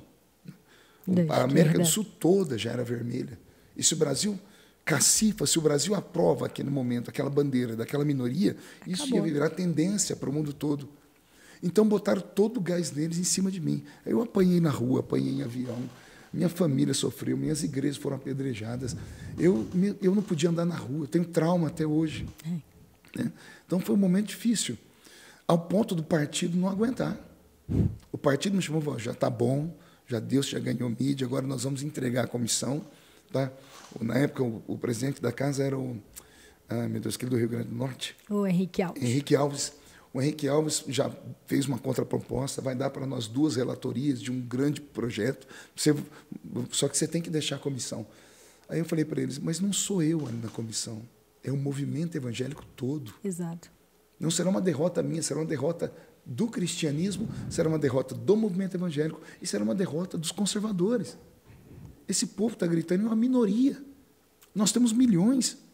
Foi um marco esse, esse, esse momento, a sua presidência ali na comissão, principalmente a briga dos vermelhos da esquerda, né, como você fala, tentando te derrubar, na verdade tentando derrubar nós, né, tentando nos derrubar, foi um marco assim para os evangélicos. O Marco ele, ele quando o Marco quando fala ele é humilde nessa questão, mas ele ele conseguiu levantar ali o exército de que o evangélico podia lutar pelas pautas. Porque até então não se lutava. Você foi prova viva eu, disso. Eu, eu, eu, eu, vou falar um negócio aqui. O pastor Marco ele deu uma voz é que estava silenciada é. ou que nunca havia gritado.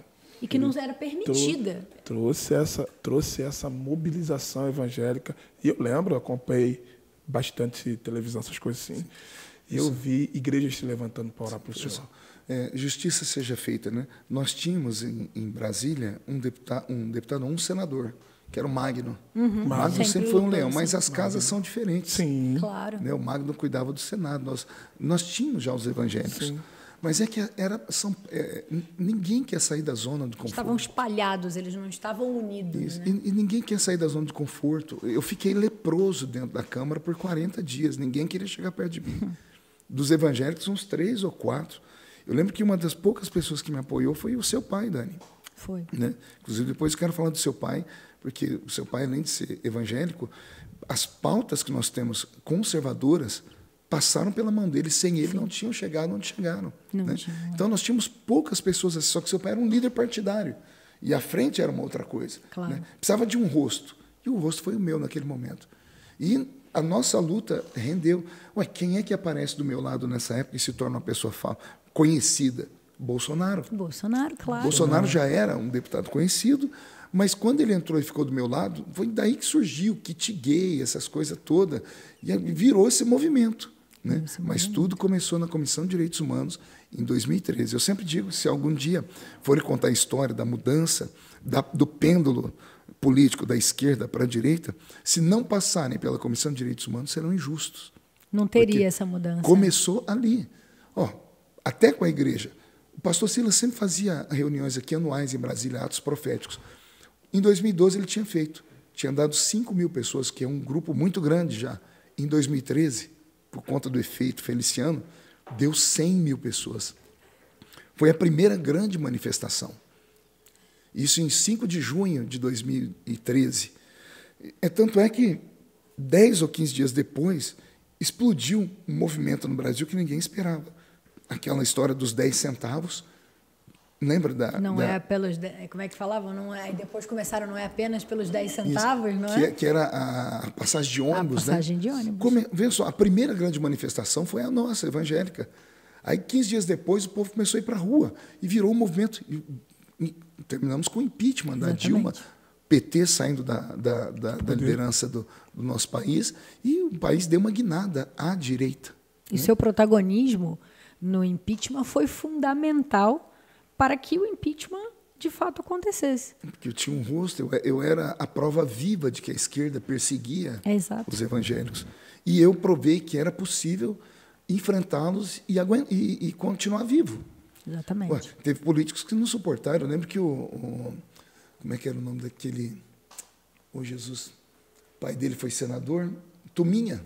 Tominha. O Tominha escreveu um livro né, sobre o PT, dizendo é, é, destruidores de reputação. Era uma coisa assim o nome e, do livro e dele. E é bem como eles atuam, né? Sim. destruindo a reputação. Ele mostrou como a esquerda, para aniquilar o seu oponente, destruir a reputação deles. É. O que fizeram comigo? Meu Deus, vasculharam a minha vida inteira. Os jornalistas moraram na minha cidade três meses, queriam arrumar alguma coisa para mim. E Deus me protegeu, me blindou, me guardou. E eu consegui, naquele ano, presidir aquela comissão. E dali eu me tornei um, um nome forte no meio evangélico, na política. E eu consegui provar para a igreja brasileira que Babilônia não muda Daniel. Daniel muda, a Babilônia. Uau.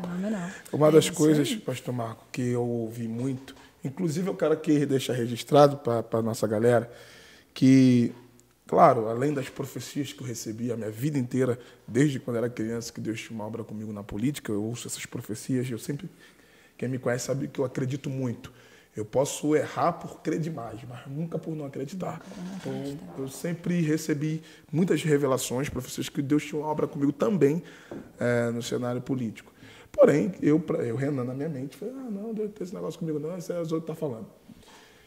Mas, num certo período da, da, da, da, minha vida, da minha caminhada, eu fui vendo algumas coisas acontecendo, principalmente, pastor Marcos, senhor foi e é uma das pessoas que abriu meus olhos para a política porque eu, como um, um, um assembleano nascido e criado dentro da Assembleia de Deus, eu sempre ouvi que tudo era do diabo, a política era do diabo, a, a, a futebol era do diabo, a Coca-Cola era do diabo, televisão. era do diabo, televisão, televisão era do diabo. Tudo que era bom, o diabo é, tinha levado embora, não sobrou nada para nós. Tudo era do diabo. Aí, quando eu vi uh, o movimento que o senhor fez e a guerra também que o senhor enfrentou, e depois eu, a gente foi vendo o, o, o, a nossa nação caminhando para um, um outro cenário, aí veio logo o impeachment, com o Eduardo e, e outras, outras coisas que foram acontecendo. Aí, em 2018, veio essa, que eu acredito que foi essa eleição de 2018 foi a maior prova do poder da igreja, Com quando certeza. a igreja se une. E isso foi me despertando. E eu olhei, isso, eu olhei o senhor como, como a minha referência e as profecias, e eu fui só quieto ali, Daqui a pouco, quando foi 2020, final de 2020, me fizeram o convite né, para mim é, me lançar deputado. Né? Me pediram para vir como federal. Eu falei, não, eu preciso primeiro ter uma, uma, um primeiro contato preciso aprender alguma coisa ainda sobre a política. Aí eu falei assim, não, eu quero vir como deputado estadual. Aí eu orei, falei assim, eu só venho se for para ser primeiramente como é, deputado estadual. Aí as coisas foram acontecendo. Aí eu fui buscar Deus. Deus usou um vaso, orei 30 dias. Deus usou um vaso de uma forma tão profunda que ela falou coisas para mim que, que só, só eu tinha conversado só com uma pessoa. Ninguém sabia. Falou, é. E Deus usou. Aí eu vi que realmente Deus Deus estava no negócio. E uma das orações que eu falei com Deus que eu pedi, eu falei, Senhor, é, se o Senhor tem mesmo um propósito comigo na, na, na política, eu, eu, eu quero que uma pessoa grande, mas eu falei assim, uma pessoa grande, coloque a mão em mim.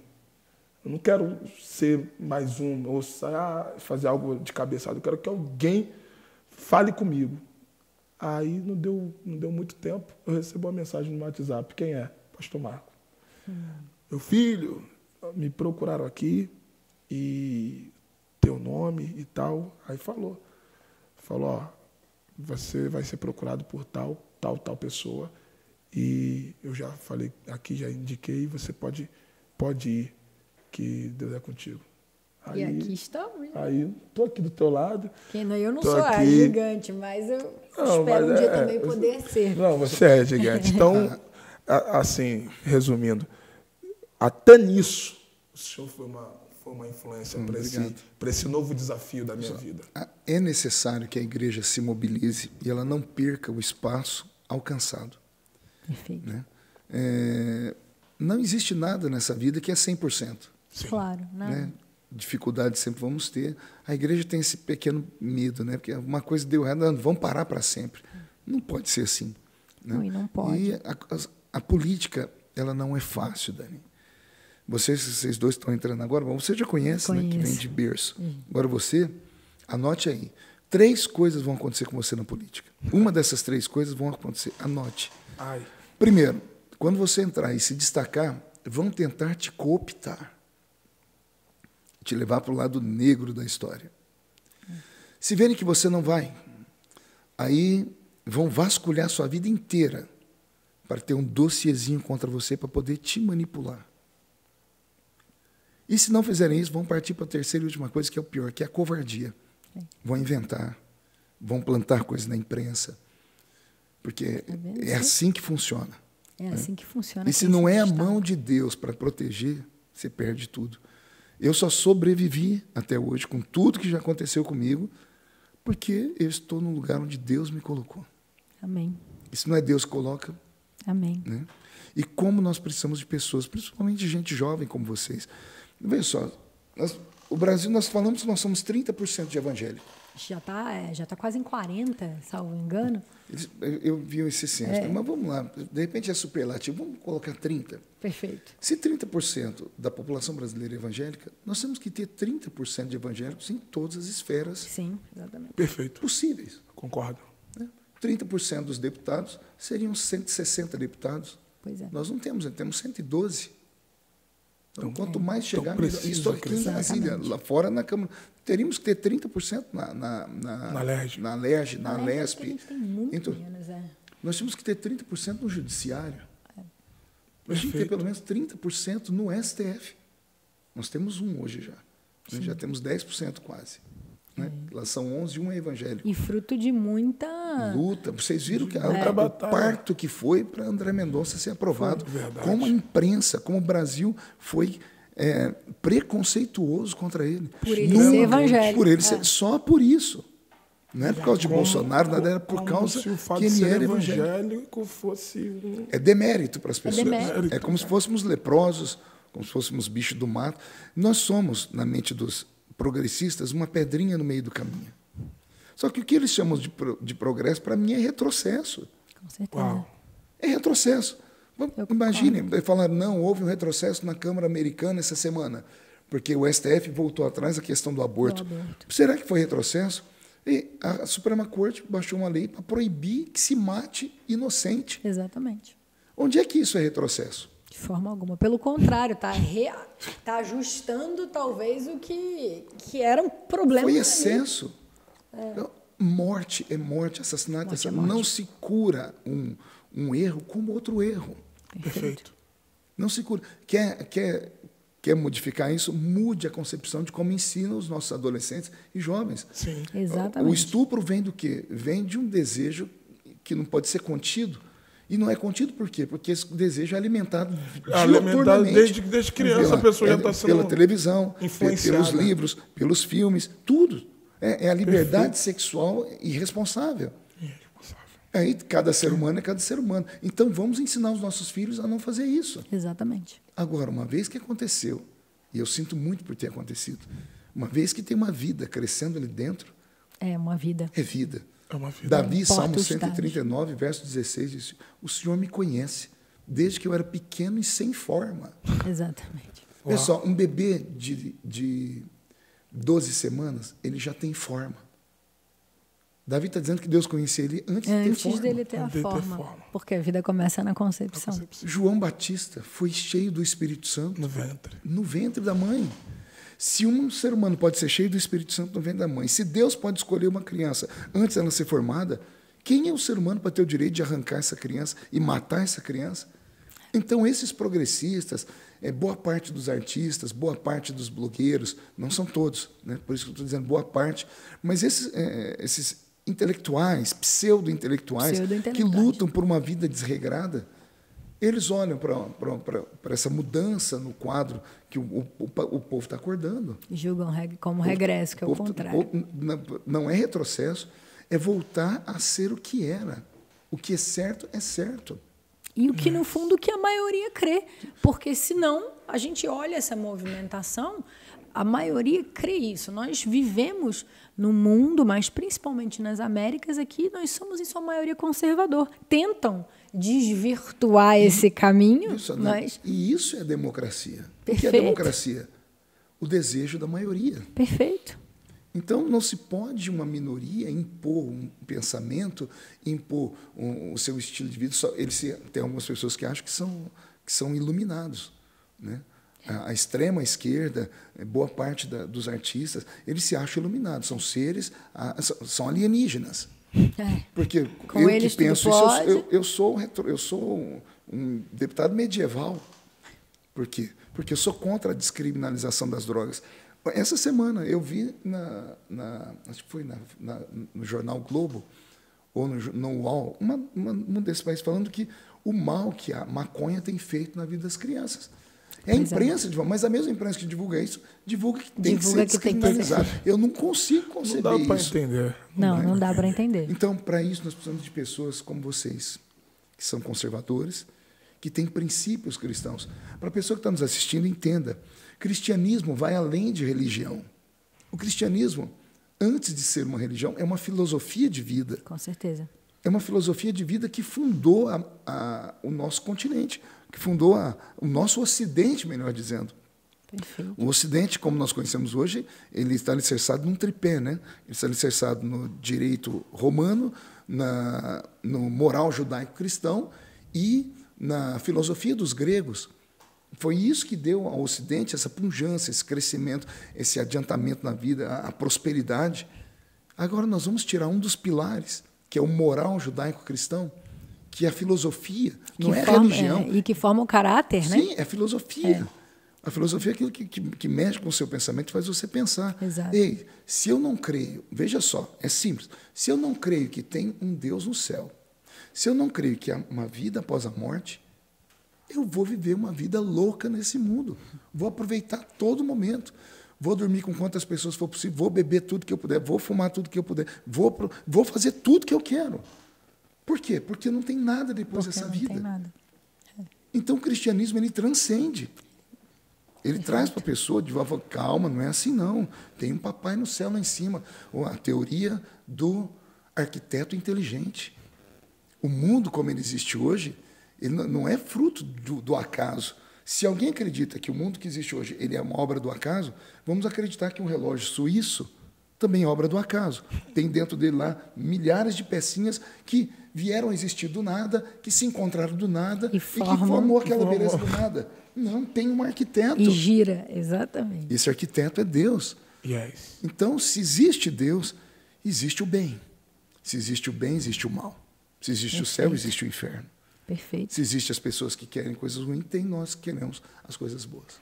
E, pastor Marcos, é, o que o senhor tem, tem falado a respeito dessa representatividade e é o que o senhor tem feito isso não só agora no contexto político, mas desde quando Deus te levantou como uma voz profética, é o, é, essa foi a minha, é e tem sido a minha preocupação, porque a omissão também é um pecado.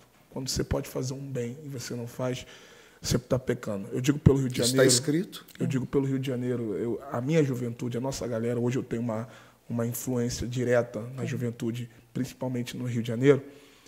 E quando eu olho para eles e vejo que eles não têm uma, uma, uma referência ali, propriamente no estado do Rio de Janeiro, e eu vou ver que essa galera que me ouve, que me acompanha, que são abençoadas através da minha vida, que são aceitam a Cristo, são batizados com o Espírito Santo e coisas que eu ouço de pessoas através de mim, e eu olho para elas e cara, eles vão votar em quem? Eles vão, quem vai ser a voz deles? Quem vão ser os representantes Ou deles? outra, né? E ensiná-los também que se não, e eu falo muito isso, né? Se não se, se não elege, não busca ter uma, né, entender quem está representando, depois também não tem o, o direito de reclamar, porque é fundamental as pessoas entenderem que se a gente coloca pessoas como nós, ou como a gente crê, não só a gente entende que essas pessoas vão nos defender, mas a gente entende que, que em algum momento ali a gente não pode ser omisso, como disse o Renan agora. Ah, As pessoas têm que entender que é, muita gente fala, não, vou eleger um crente só para ele cuidar de coisas de igreja. Não. Não, é questão disso. Eu voto sobre salário mínimo, eu voto sobre reformas, eu voto tudo, nós votamos tudo. A questão é que quando chega na nossa pauta não tem quem nos defenda. Não tem quem defenda. Perfeito. Ah, É pastor, uma mas as luta. nossas pautas funcionam. Veja, no mundo inteiro, o que manda hoje são as pautas de costume. Exatamente. E As você pautas falou, de costume ganham o holofote. Está lá os Estados Unidos, votou agora a questão do aborto, votaram essa semana a questão da- das armas, né? É, fa- facilitando o uso, a, a- a- posse da arma e o andamento dela, que a pessoa pode usar agora, onde ela estiver, a, a arma acompanha a pessoa. Então, são, são questões que têm que ser debatidas. E a Claro. igreja também tem que participar disso. Participar. é lógico. né? Nós, da, da bancada evangélica, nós não somos uníssonos em todos os projetos, como a bancada católica. Mas quando tocam em assuntos que são convergentes, nós juntamos Acho essas católicos e evangélicos e aí somos a maioria. Isso então que é nós temos que mandar importante. pessoas, temos que trazer pessoas. A igreja não pode ficar em casa. Resultado, olha o que aconteceu na Colômbia há três semanas atrás. A Colômbia mudou o seu governo e elegeram agora pela primeira vez um governo de esquerda. Por é o quê? perigo. Porque o povo desanimou com a direita e ficaram em casa. Somente 11 milhões de colombianos foram votar. Ficaram em casa, se não me falha a memória, 20 milhões de colombianos que não Hum. saíram para votar. É uma omissão enorme. Então nós não podemos, temos que votar, temos que escolher. Pergunta para mim, pastor, então me, me dê um motivo para eu votar num, num cristão, num crente como você. Fala assim, ó, eu prefiro votar num crente capenga do que votar num feiticeiro perfeito. Perfeito. É exatamente. Eu prefiro isso. votar num crente que não seja tão perfeito assim do que em uma pessoa que é extremamente culta, mas que quando chegar nas nossas questões vão virar as costas para nós. Perfeito. E essa é a luta eterna. Constantemente presencia-se isso. Se não fosse Pessoal, a luta, o aborto já estaria Os- liberado. os- veja só, os processos voltaram, regrediram, porque nós estamos ali. Exatamente. Por que as pautas não são mais tocadas? Porque nós estamos ali. Exatamente. Aí o que, é que acontece com, essa, com, com a esquerda, inteligente como é? Ela tira da mão do Congresso e manda para o STF. Perfeito. Aí o STF, tudo é judicializado lá. Aí 11 juízes de toga resolvem, é, é, passam por cima da, da nossa legitimidade como, como, como legisladores e acaba falando em nome de uma nação inteira. Juntando o os três ministro Luiz. Barroso, ele já deu entrevistas dizendo que ele é a favor do aborto até a 12ª semana de gestação, três meses. Que isso. Se o ministro, ele falou isso. Primeiro que o ministro não, não devia falar fora dos autos, né? Sim. Mas é o pensamento dele. Ele, ele falou, por que parou agora? Ele, ele respondeu essa semana, saiu a questão do aborto nos Ah, Estados foi? Unidos, perguntaram para ele, o senhor acha que, por que o senhor vai votar? Ele falou, não, nós não temos clima no Brasil para votar. Por que não tem clima? Porque nós estamos aqui. Porque a gente não permite que isso A igreja aconteça, acordou. né? Exatamente. Os cristãos acordaram, os conservadores acordaram. Nós temos 102 deputados, nós temos vários senadores. Hoje nós temos um, um, um senador lá que é, que é evangélico puro sangue. Um, digo, o ministro do STF puro sangue. puro sangue. É claro que não tem clima, não tem clima porque agora tem quem confronte. E, e pela primeira vez, assim, me corrija se eu estiver errado, não sei se pela primeira vez, nós temos à frente de uma nação uma pessoa que, que crê né? no, na, no que a gente crê. Então eu queria até lhe perguntar isso. A gente acaba nunca podendo, acaba de falar de, de política inevitável. Você, Marcos, sempre foi uma pessoa que, que sempre foi uma a face dos evangélicos, a representatividade e também a esperança, porque se não fosse o entrave inicial, tantas outras coisas teriam acontecido, né? tantos outros atentados, vamos dizer assim, teriam acontecido conosco. E a gente está no momento onde a esquerda que perde uma dinastia de poder e, e a, assim é, é, impossível de falar da quantidade de, de destruições, de, de, desemprego. Não digo nem só uma questão ideológica, não, tem uma repercussão as, econômica. As mazelas do socialismo. As mazelas do socialismo elas impactaram economicamente o nosso país e por muito tempo. E hoje a gente vê, estamos vendo, né, na verdade, uma, uma mudança nessa lógica. O que você tem a dizer para isso? O que você acredita assim, no nosso cenário? Que bom, bom você fez essa, essa pergunta, porque eu sei que o nosso público aqui, se não todo, mas majoritariamente é evangélico. Exato. Queria que os irmãos entendessem que nós não elegemos um pastor, nós elegemos um presidente da República. Perfeito. Ah. Um presidente da República que não é evangélico, portanto, não cobre dele coisas que somente um evangélico pode ser cobrado. Perfeito. Os crentes me param, pastor, mas ele fala palavrão, pastor, mas eu, eu não elegi um, um, um, santo, eu elegi um presidente da República. Exato. Então ele não é perfeito, eu não elegi um semideus, nós elegemos um ser humano. Exato. Que erra, mas maiores são os acertos do que os erros. Governar uma nação de proporções continentais como é o Brasil não é tarefa fácil. Não. Montar um time como ele montou de ministros sem passar pelo crivo do, do, da política comum de balcão já foi um milagre. É. As grandes mudanças que já foram feitas, a, a, a, reestruturação do país, é que o nosso governo não, ainda não, não acertou a forma de verbalizar o que foi feito. Mas isso vai, vai, mudar daqui para frente. Em nome de Jesus. O Brasil vai ver todas as obras que foram feitas no governo Bolsonaro, as grandes mudanças. Né? A extrema imprensa, ah, o sistema não aceita Bolsonaro, porque Bolsonaro secou a questão da corrupção Exato. no Brasil. Exato. Né? E ele implementou o pensamento sobre Deus, sobre pátria e família. Me diga em que época do Brasil o brasileiro sabe tanto sobre política do que agora? Não, não. Ele tem, exatamente. Ele tem Nunca tanto fervor Bolsonaro provocou, quanto agora. Ele provocou isso, fez as pessoas estudar. Hoje, hoje tem direita e esquerda. Exato. Não tem ainda oficializada como organização, mas já tem os pensamentos. Hoje as pessoas têm coragem. Antigamente era, era, era, era boi de carga. Vai tudo para cá, vai tudo para cá, vai tudo para lá, vai tudo para lá. Tudo passava debaixo dos nossos olhos e ninguém dizia nada. Exatamente. Então, Bolsonaro, com todo o seu pensamento, ele, ele trouxe mudanças significativas para o Brasil. Ele, para mim, além de ser um governante eleito pela mão do povo, tem sobre ele uma mão divina. Tô, Ninguém iria aguentar o que esse homem aguenta todo dia. Foi a pessoa que, que mais é, foi atacada. Na verdade, é uma pessoa que constantemente foi atacada pela imprensa, né? 24 horas 24 por dia, durante horas. quatro anos a fio. Nunca vi, eu nunca vi. Atacaram ele, atacaram a esposa dele, atacaram a filha dele de 10 anos, atacaram os filhos, atacaram a mãe da esposa dele, a avó, melhor, a avó da esposa dele. É. Buscaram coisas do Bolsonaro quando ele tinha 5 anos, sabia disso? Não, que ele falou, disse uma, uma, uma, professora que ele tinha falado um palavrão para quando ele tinha 5 anos de idade. Então, no parquinho, uma, são umas coisas assim absurdas. Muita falta do que, né? Lembra que eu te falei? Lembra que eu te falei aqui agora há pouco? Sim Primeiro vão te cooptar. Se não, tentar, se não conseguir te cooptar, vão buscar alguma coisa na sua vida. Se não acharem, vão, vão inventar. inventar. Exatamente. Isso, esse eu é o processo. Eu que eu já estou passando por algumas coisas assim já. É, Calma, você está no começo ainda. Mas muito, muito importante isso que você tem falado, assim, porque a gente está num momento onde a esquerda tenta fazer um resgate de uma forma até de incitar a violência, de e com mentiras, Dani. Com Pessoal, mentiras. A memória do brasileiro é muito curta. Nós temos que tirar esse negócio da nossa cabeça de ele rouba, mas faz. A gente tem que parar Exatamente. com isso. Isso não existe, houve é. na história do mundo um político que tenha sido condenado em três instâncias. Exato. Gente, o Lula está solto não é porque ele é honesto, não. Ele está solto por questões é, técnicas. Foram erros técnicos feitos durante o judiciário, pelo judiciário, mas há provas fidedignas que ele roubou o nosso país, de que houve problemas gravíssimos no nosso país. Nós não podemos esquecer isso.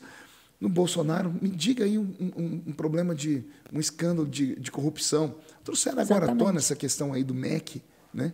Que vamos ver ainda no que vai dar. Né? Nós não podemos julgar uma pessoa sem antes passar por É, tudo. Claro. A história está tá muito mal contada Inquérito é ainda. inquérito, inquérito é instaurado exatamente para isso, para ver se é a verdade ou se é mentira. Se for verdade, a pessoa vai pagar, vai para a cadeia. É para isso que existe, né? Um- Uma ordem processual das Meu coisas. Deus do céu, é o pastor da igreja aqui ter que ir lá na justiça responder porque um obreiro dele, lá na casa dele, fez, "Mas, calma aí, mas eu não estou lá, eu não estou sabendo.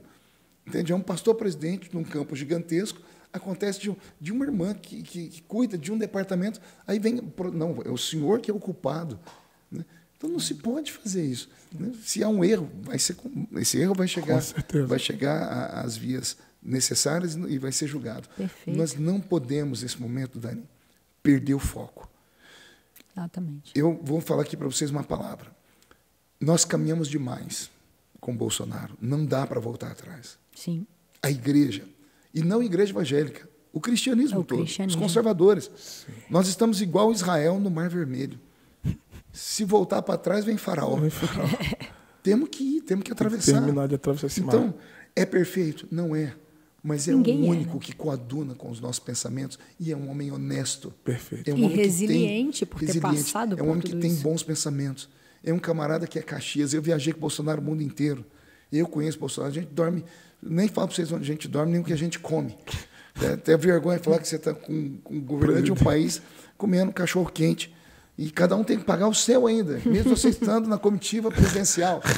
né? Diferente de outros governos, que um Com quarto certeza. custava 30, 40 mil reais só por uma exatamente. noite. Exatamente. Esse é Bolsonaro. Perfeito. Entende? Ele pode ser tosco, ele pode ser bruto, é o jeito dele. Aliás, e nós elegemos ele por quê? Porque ele Nós era- elegemos ele para ele ser delicado, Não, ele para ele foi- ser polido. Justamente porque Não. ele era. Nós elegemos ele por isso, então não queira que ele mude agora. Se tem uma coisa que é certa, é que não mudou o jeito dele. Não, ele é- e foi ele- eleito por isso. Ele é transparente. Eu já vi gente falar, pastor Marco, ah, ele não tem perfil de um presidente da república, não fala bonito. Gente, desde quando isso é critério? Então, lá. ele não tem perfil, mas ele tem feeling. Pronto. Quem é que foi na Rússia e garantiu a a o sustento do agronegócio brasileiro e a comida, não só do Brasil, mas do mundo, no momento que ninguém queria? Foi Bolsonaro. E Essa- apanhou por isso, e essa- e essa semana. Putin ligou para ele, num- numa conversa, não sei se foi ele que ligou para o Putin, não, acho que Putin ligou para ele e garantiu a entrega do- dos fertilizantes para o Brasil. A OMC teve aqui há pouco tempo atrás, disse ao Bolsonaro, de cada cinco pratos de comida servidos no mundo, um sai do Brasil. Olha aí. Olha, Um isso sai é daqui. muito forte. O Brasil é celeiro do mundo. E Bolsonaro salvou. Só por isso já valeu a pena ele estar aí. Porque se acaba o agronegócio, não é problema só na economia, é problema na, no- na, na- na mesa do mundo inteiro. É. Do mundo inteiro. né? Então, veja só, trabalhando com mentiras. Me disseram essa semana que é uma estimativa de 33 milhões de brasileiros passando fome. Aonde é que está esse povo? Meu Deus. Exatamente. Onde tem 33, 33 milhões seria um sétimo do Brasil. De cada sete brasileiros, um está passando fome. Como isso? Eu viajo aos rincões. As pessoas podem não ter tudo que querem, mas Sim. têm hoje tudo que precisam. O Bolsa eh, Família foi trocado aí pelo Auxílio Brasil. Olha, foi para 400 reais. Né? Mais que o dobro do que era gente. dado antes. Mais famílias foram inseridas. Ah, algumas perderam. Perderam porque era fake. Porque- E tinha muitos, Foi né? vascular, tinha muita gente se locupletando. gente morta. Então, se mente toda hora, a todo momento, em todo instante. Perfeito. Então, o que, que esse pessoal aposta? Uma mentira dita muitas vezes vira verdade. Exatamente. Mas não vai virar verdade, porque nós precisamos nos unir. Eu fico imaginando o que vai acontecer com a igreja. Não no início. É claro que no início vão se ganhar na esquerda, vão trazer para perto, vão fazer de tudo. Gente, seja esperto. Seja esperto. Não, pastor, Nosso avô falava que o, o líder das, da campanha vermelha, né, que, que é o candidato a presidente que, que a mídia toda apoia, que ele ia fechar as igrejas, ele nunca fechou. Ele não fechou com correntes. Mas e as leis criadas? Exatamente. Positivo. Pergunte ao missionário R.R. Soares como é que está a vida da igreja dele, por uma, uma, uma, um, detalhezinho na, feito no Ministério da Economia. Eu sei. Quase fecha todas as igrejas missionárias. Perseguição. Perseguição. Eles não precisam vir aqui, não, vou botar um revólver dos cabos e fechar a sua igreja. Não. Basta uma lei. Basta uma lei. Essa é a impor- Por isso a importância dos nossos, dos nossos representantes, né, Marco? Exatamente. Então nós precisamos, nós temos duas missões né, agora. Manter o governo e fazer, pelo menos, a bancária evangélica crescer um Crescer. pouco mais. Perfeito. Em todas as esferas, federal e estadual. Se Perfeito. fizermos isso, nós temos chances reais de, pelos próximos quatro anos, mudar a cara, não só do Brasil, mas da América do Sul inteira. É, já finalizando. Rapaz, eu falando sei- duas podcast horas, mais eu longo que- nosso, eu sei graças que a o- Deus, O senhor tem compromisso, mas eu tô com Perdoa uma, que eu eu- falei demais, o pessoal está até abrindo a boca de Não, sono aqui, não não. aguenta mais. né? Pelo Eu, contrário. eu tô com uma curiosidade, o senhor falou sobre a sua resiliência. É. E, de fato, o senhor foi alguém que né, apanhou muito nessa, tua, nessa De sua tudo e de carreira, todos. nessa sua trajetória. Só que tem um que até hoje te persegue muito. E é, vou, vou falar aqui, porque é uma pergunta direta. E o que, e o, que o senhor acha da- da- da- da- das falas do Cabo Daciolo ao seu respeito? Por que você nunca responde? É porque o senhor nunca responde ele. Eu não respondo o irmão da Ciolo porque eu não sou psiquiatra, cara. Eu, não- eu sei que a Bíblia fala para não chamar o seu irmão de louco, né? mas eu não respondo o irmão da, o irmão da Ciolo porque eu disse, eu não sou psiquiatra, eu não, não sei cuidar da mente das pessoas. Minha esposa é psicóloga, ela talvez responderia. É uma pessoa que conta mentira em cima de mentira em nome de Deus. Não, aí. Ele falou uma vez, na, na última eleição, Dani, me custou muito caro. Na semana da eleição, ele foi para o monte, Renan, orando, com a Bíblia na mão, falando em línguas, três horas da manhã, dizendo: Deus acabou de falar comigo. Que Silas Malafaia e Marco Feliciano são maçons. Meu Deus. No dia seguinte, tinha 3 milhões de visualização. Na semana da eleição, como é que É você uma loucura. conserta isso? Não se prega Eu mentira. perdi é. 100 mil votos, porque ele teve no estado de São Paulo mais de 250 mil votos. Quem votou nele? Os irmãos que sempre confiaram em mim. Mas o irmão, com a Bíblia na mão, falando em línguas e profetizando no monte, diz: ele é maçom. Tanto que quando passou e eu fui eleito e ele não, eu fui falar com ele. Eu falei assim, "Ô, irmão da Ciolo, eu queria dizer uma coisa para o senhor, que o mesmo Deus que falou para o senhor que o senhor ia ser eleito no primeiro turno, foi o que falou para o senhor que eu era maçom. Você é Baal, só pode ter sido Baal.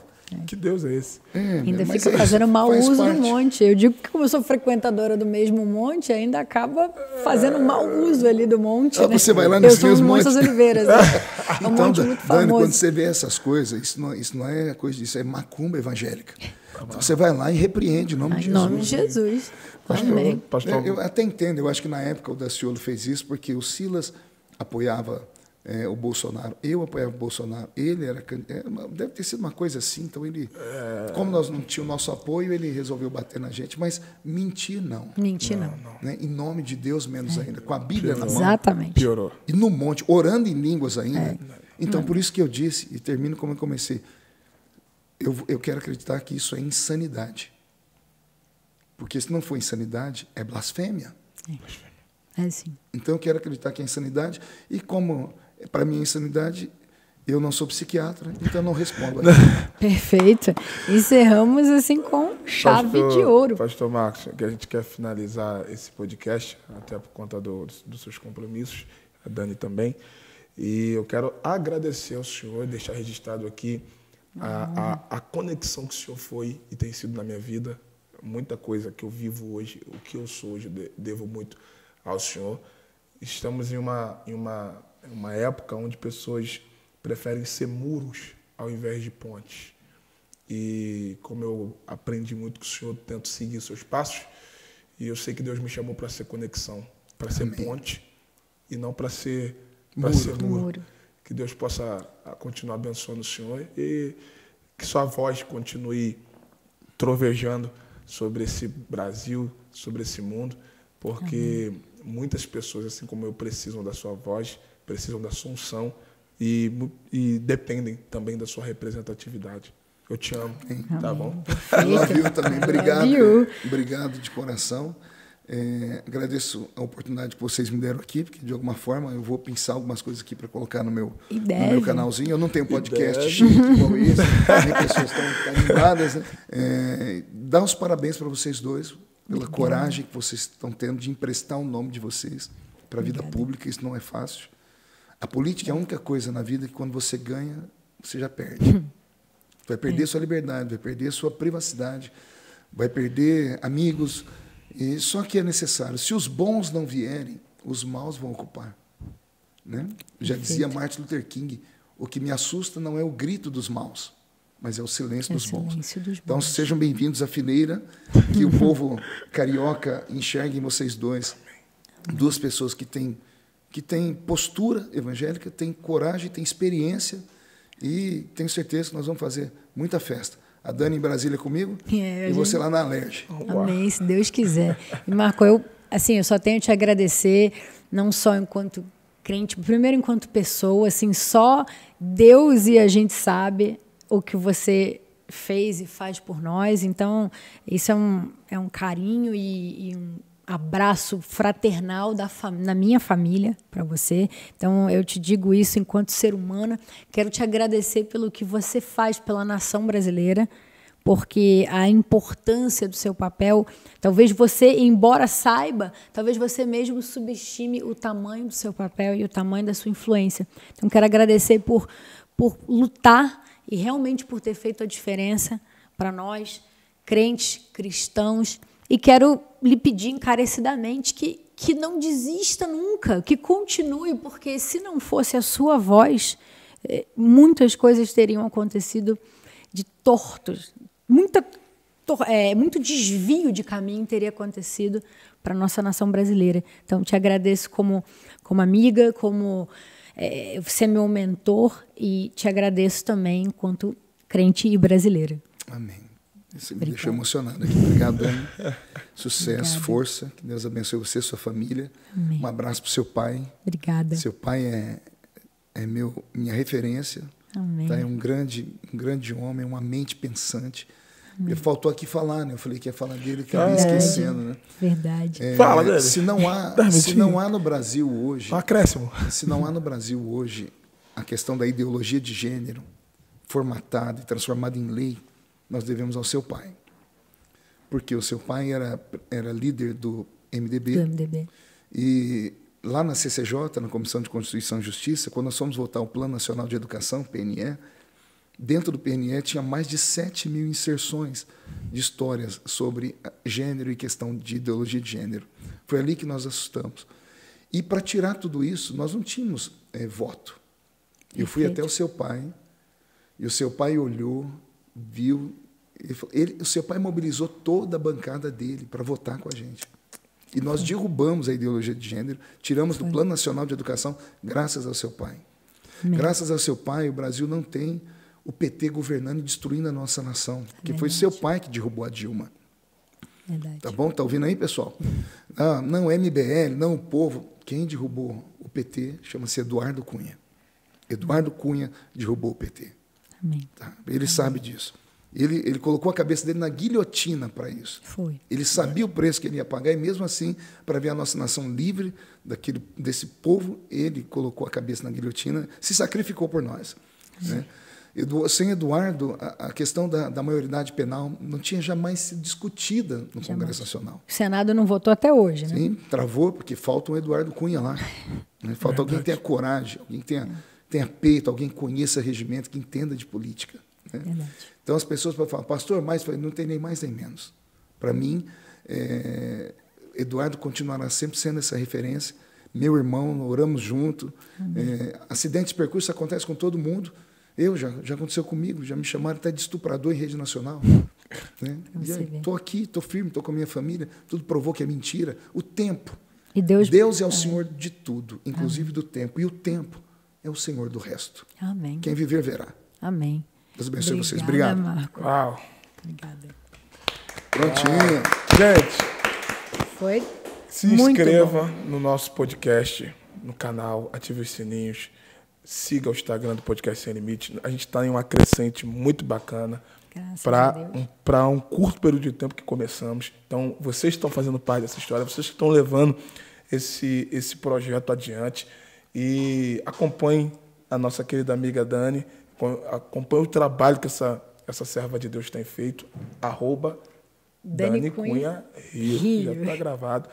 Pastor Renan Lopes no Instagram.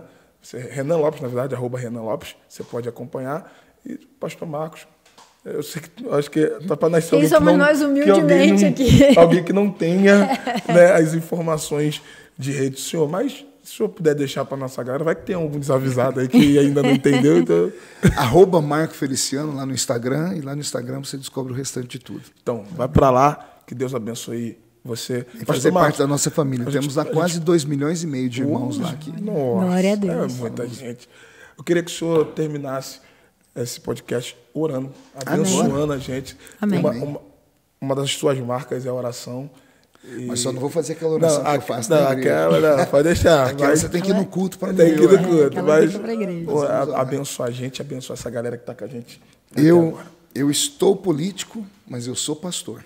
Amém. Amanhã posso não estar mais político, mas serei pastor para sempre. Então vamos Amém. orar. Pai, em nome de Jesus, eu te agradeço por ter estado aqui hoje no podcast Sem Limites, ter estado aqui ao lado da Dani, ao lado do, do meu grande filho.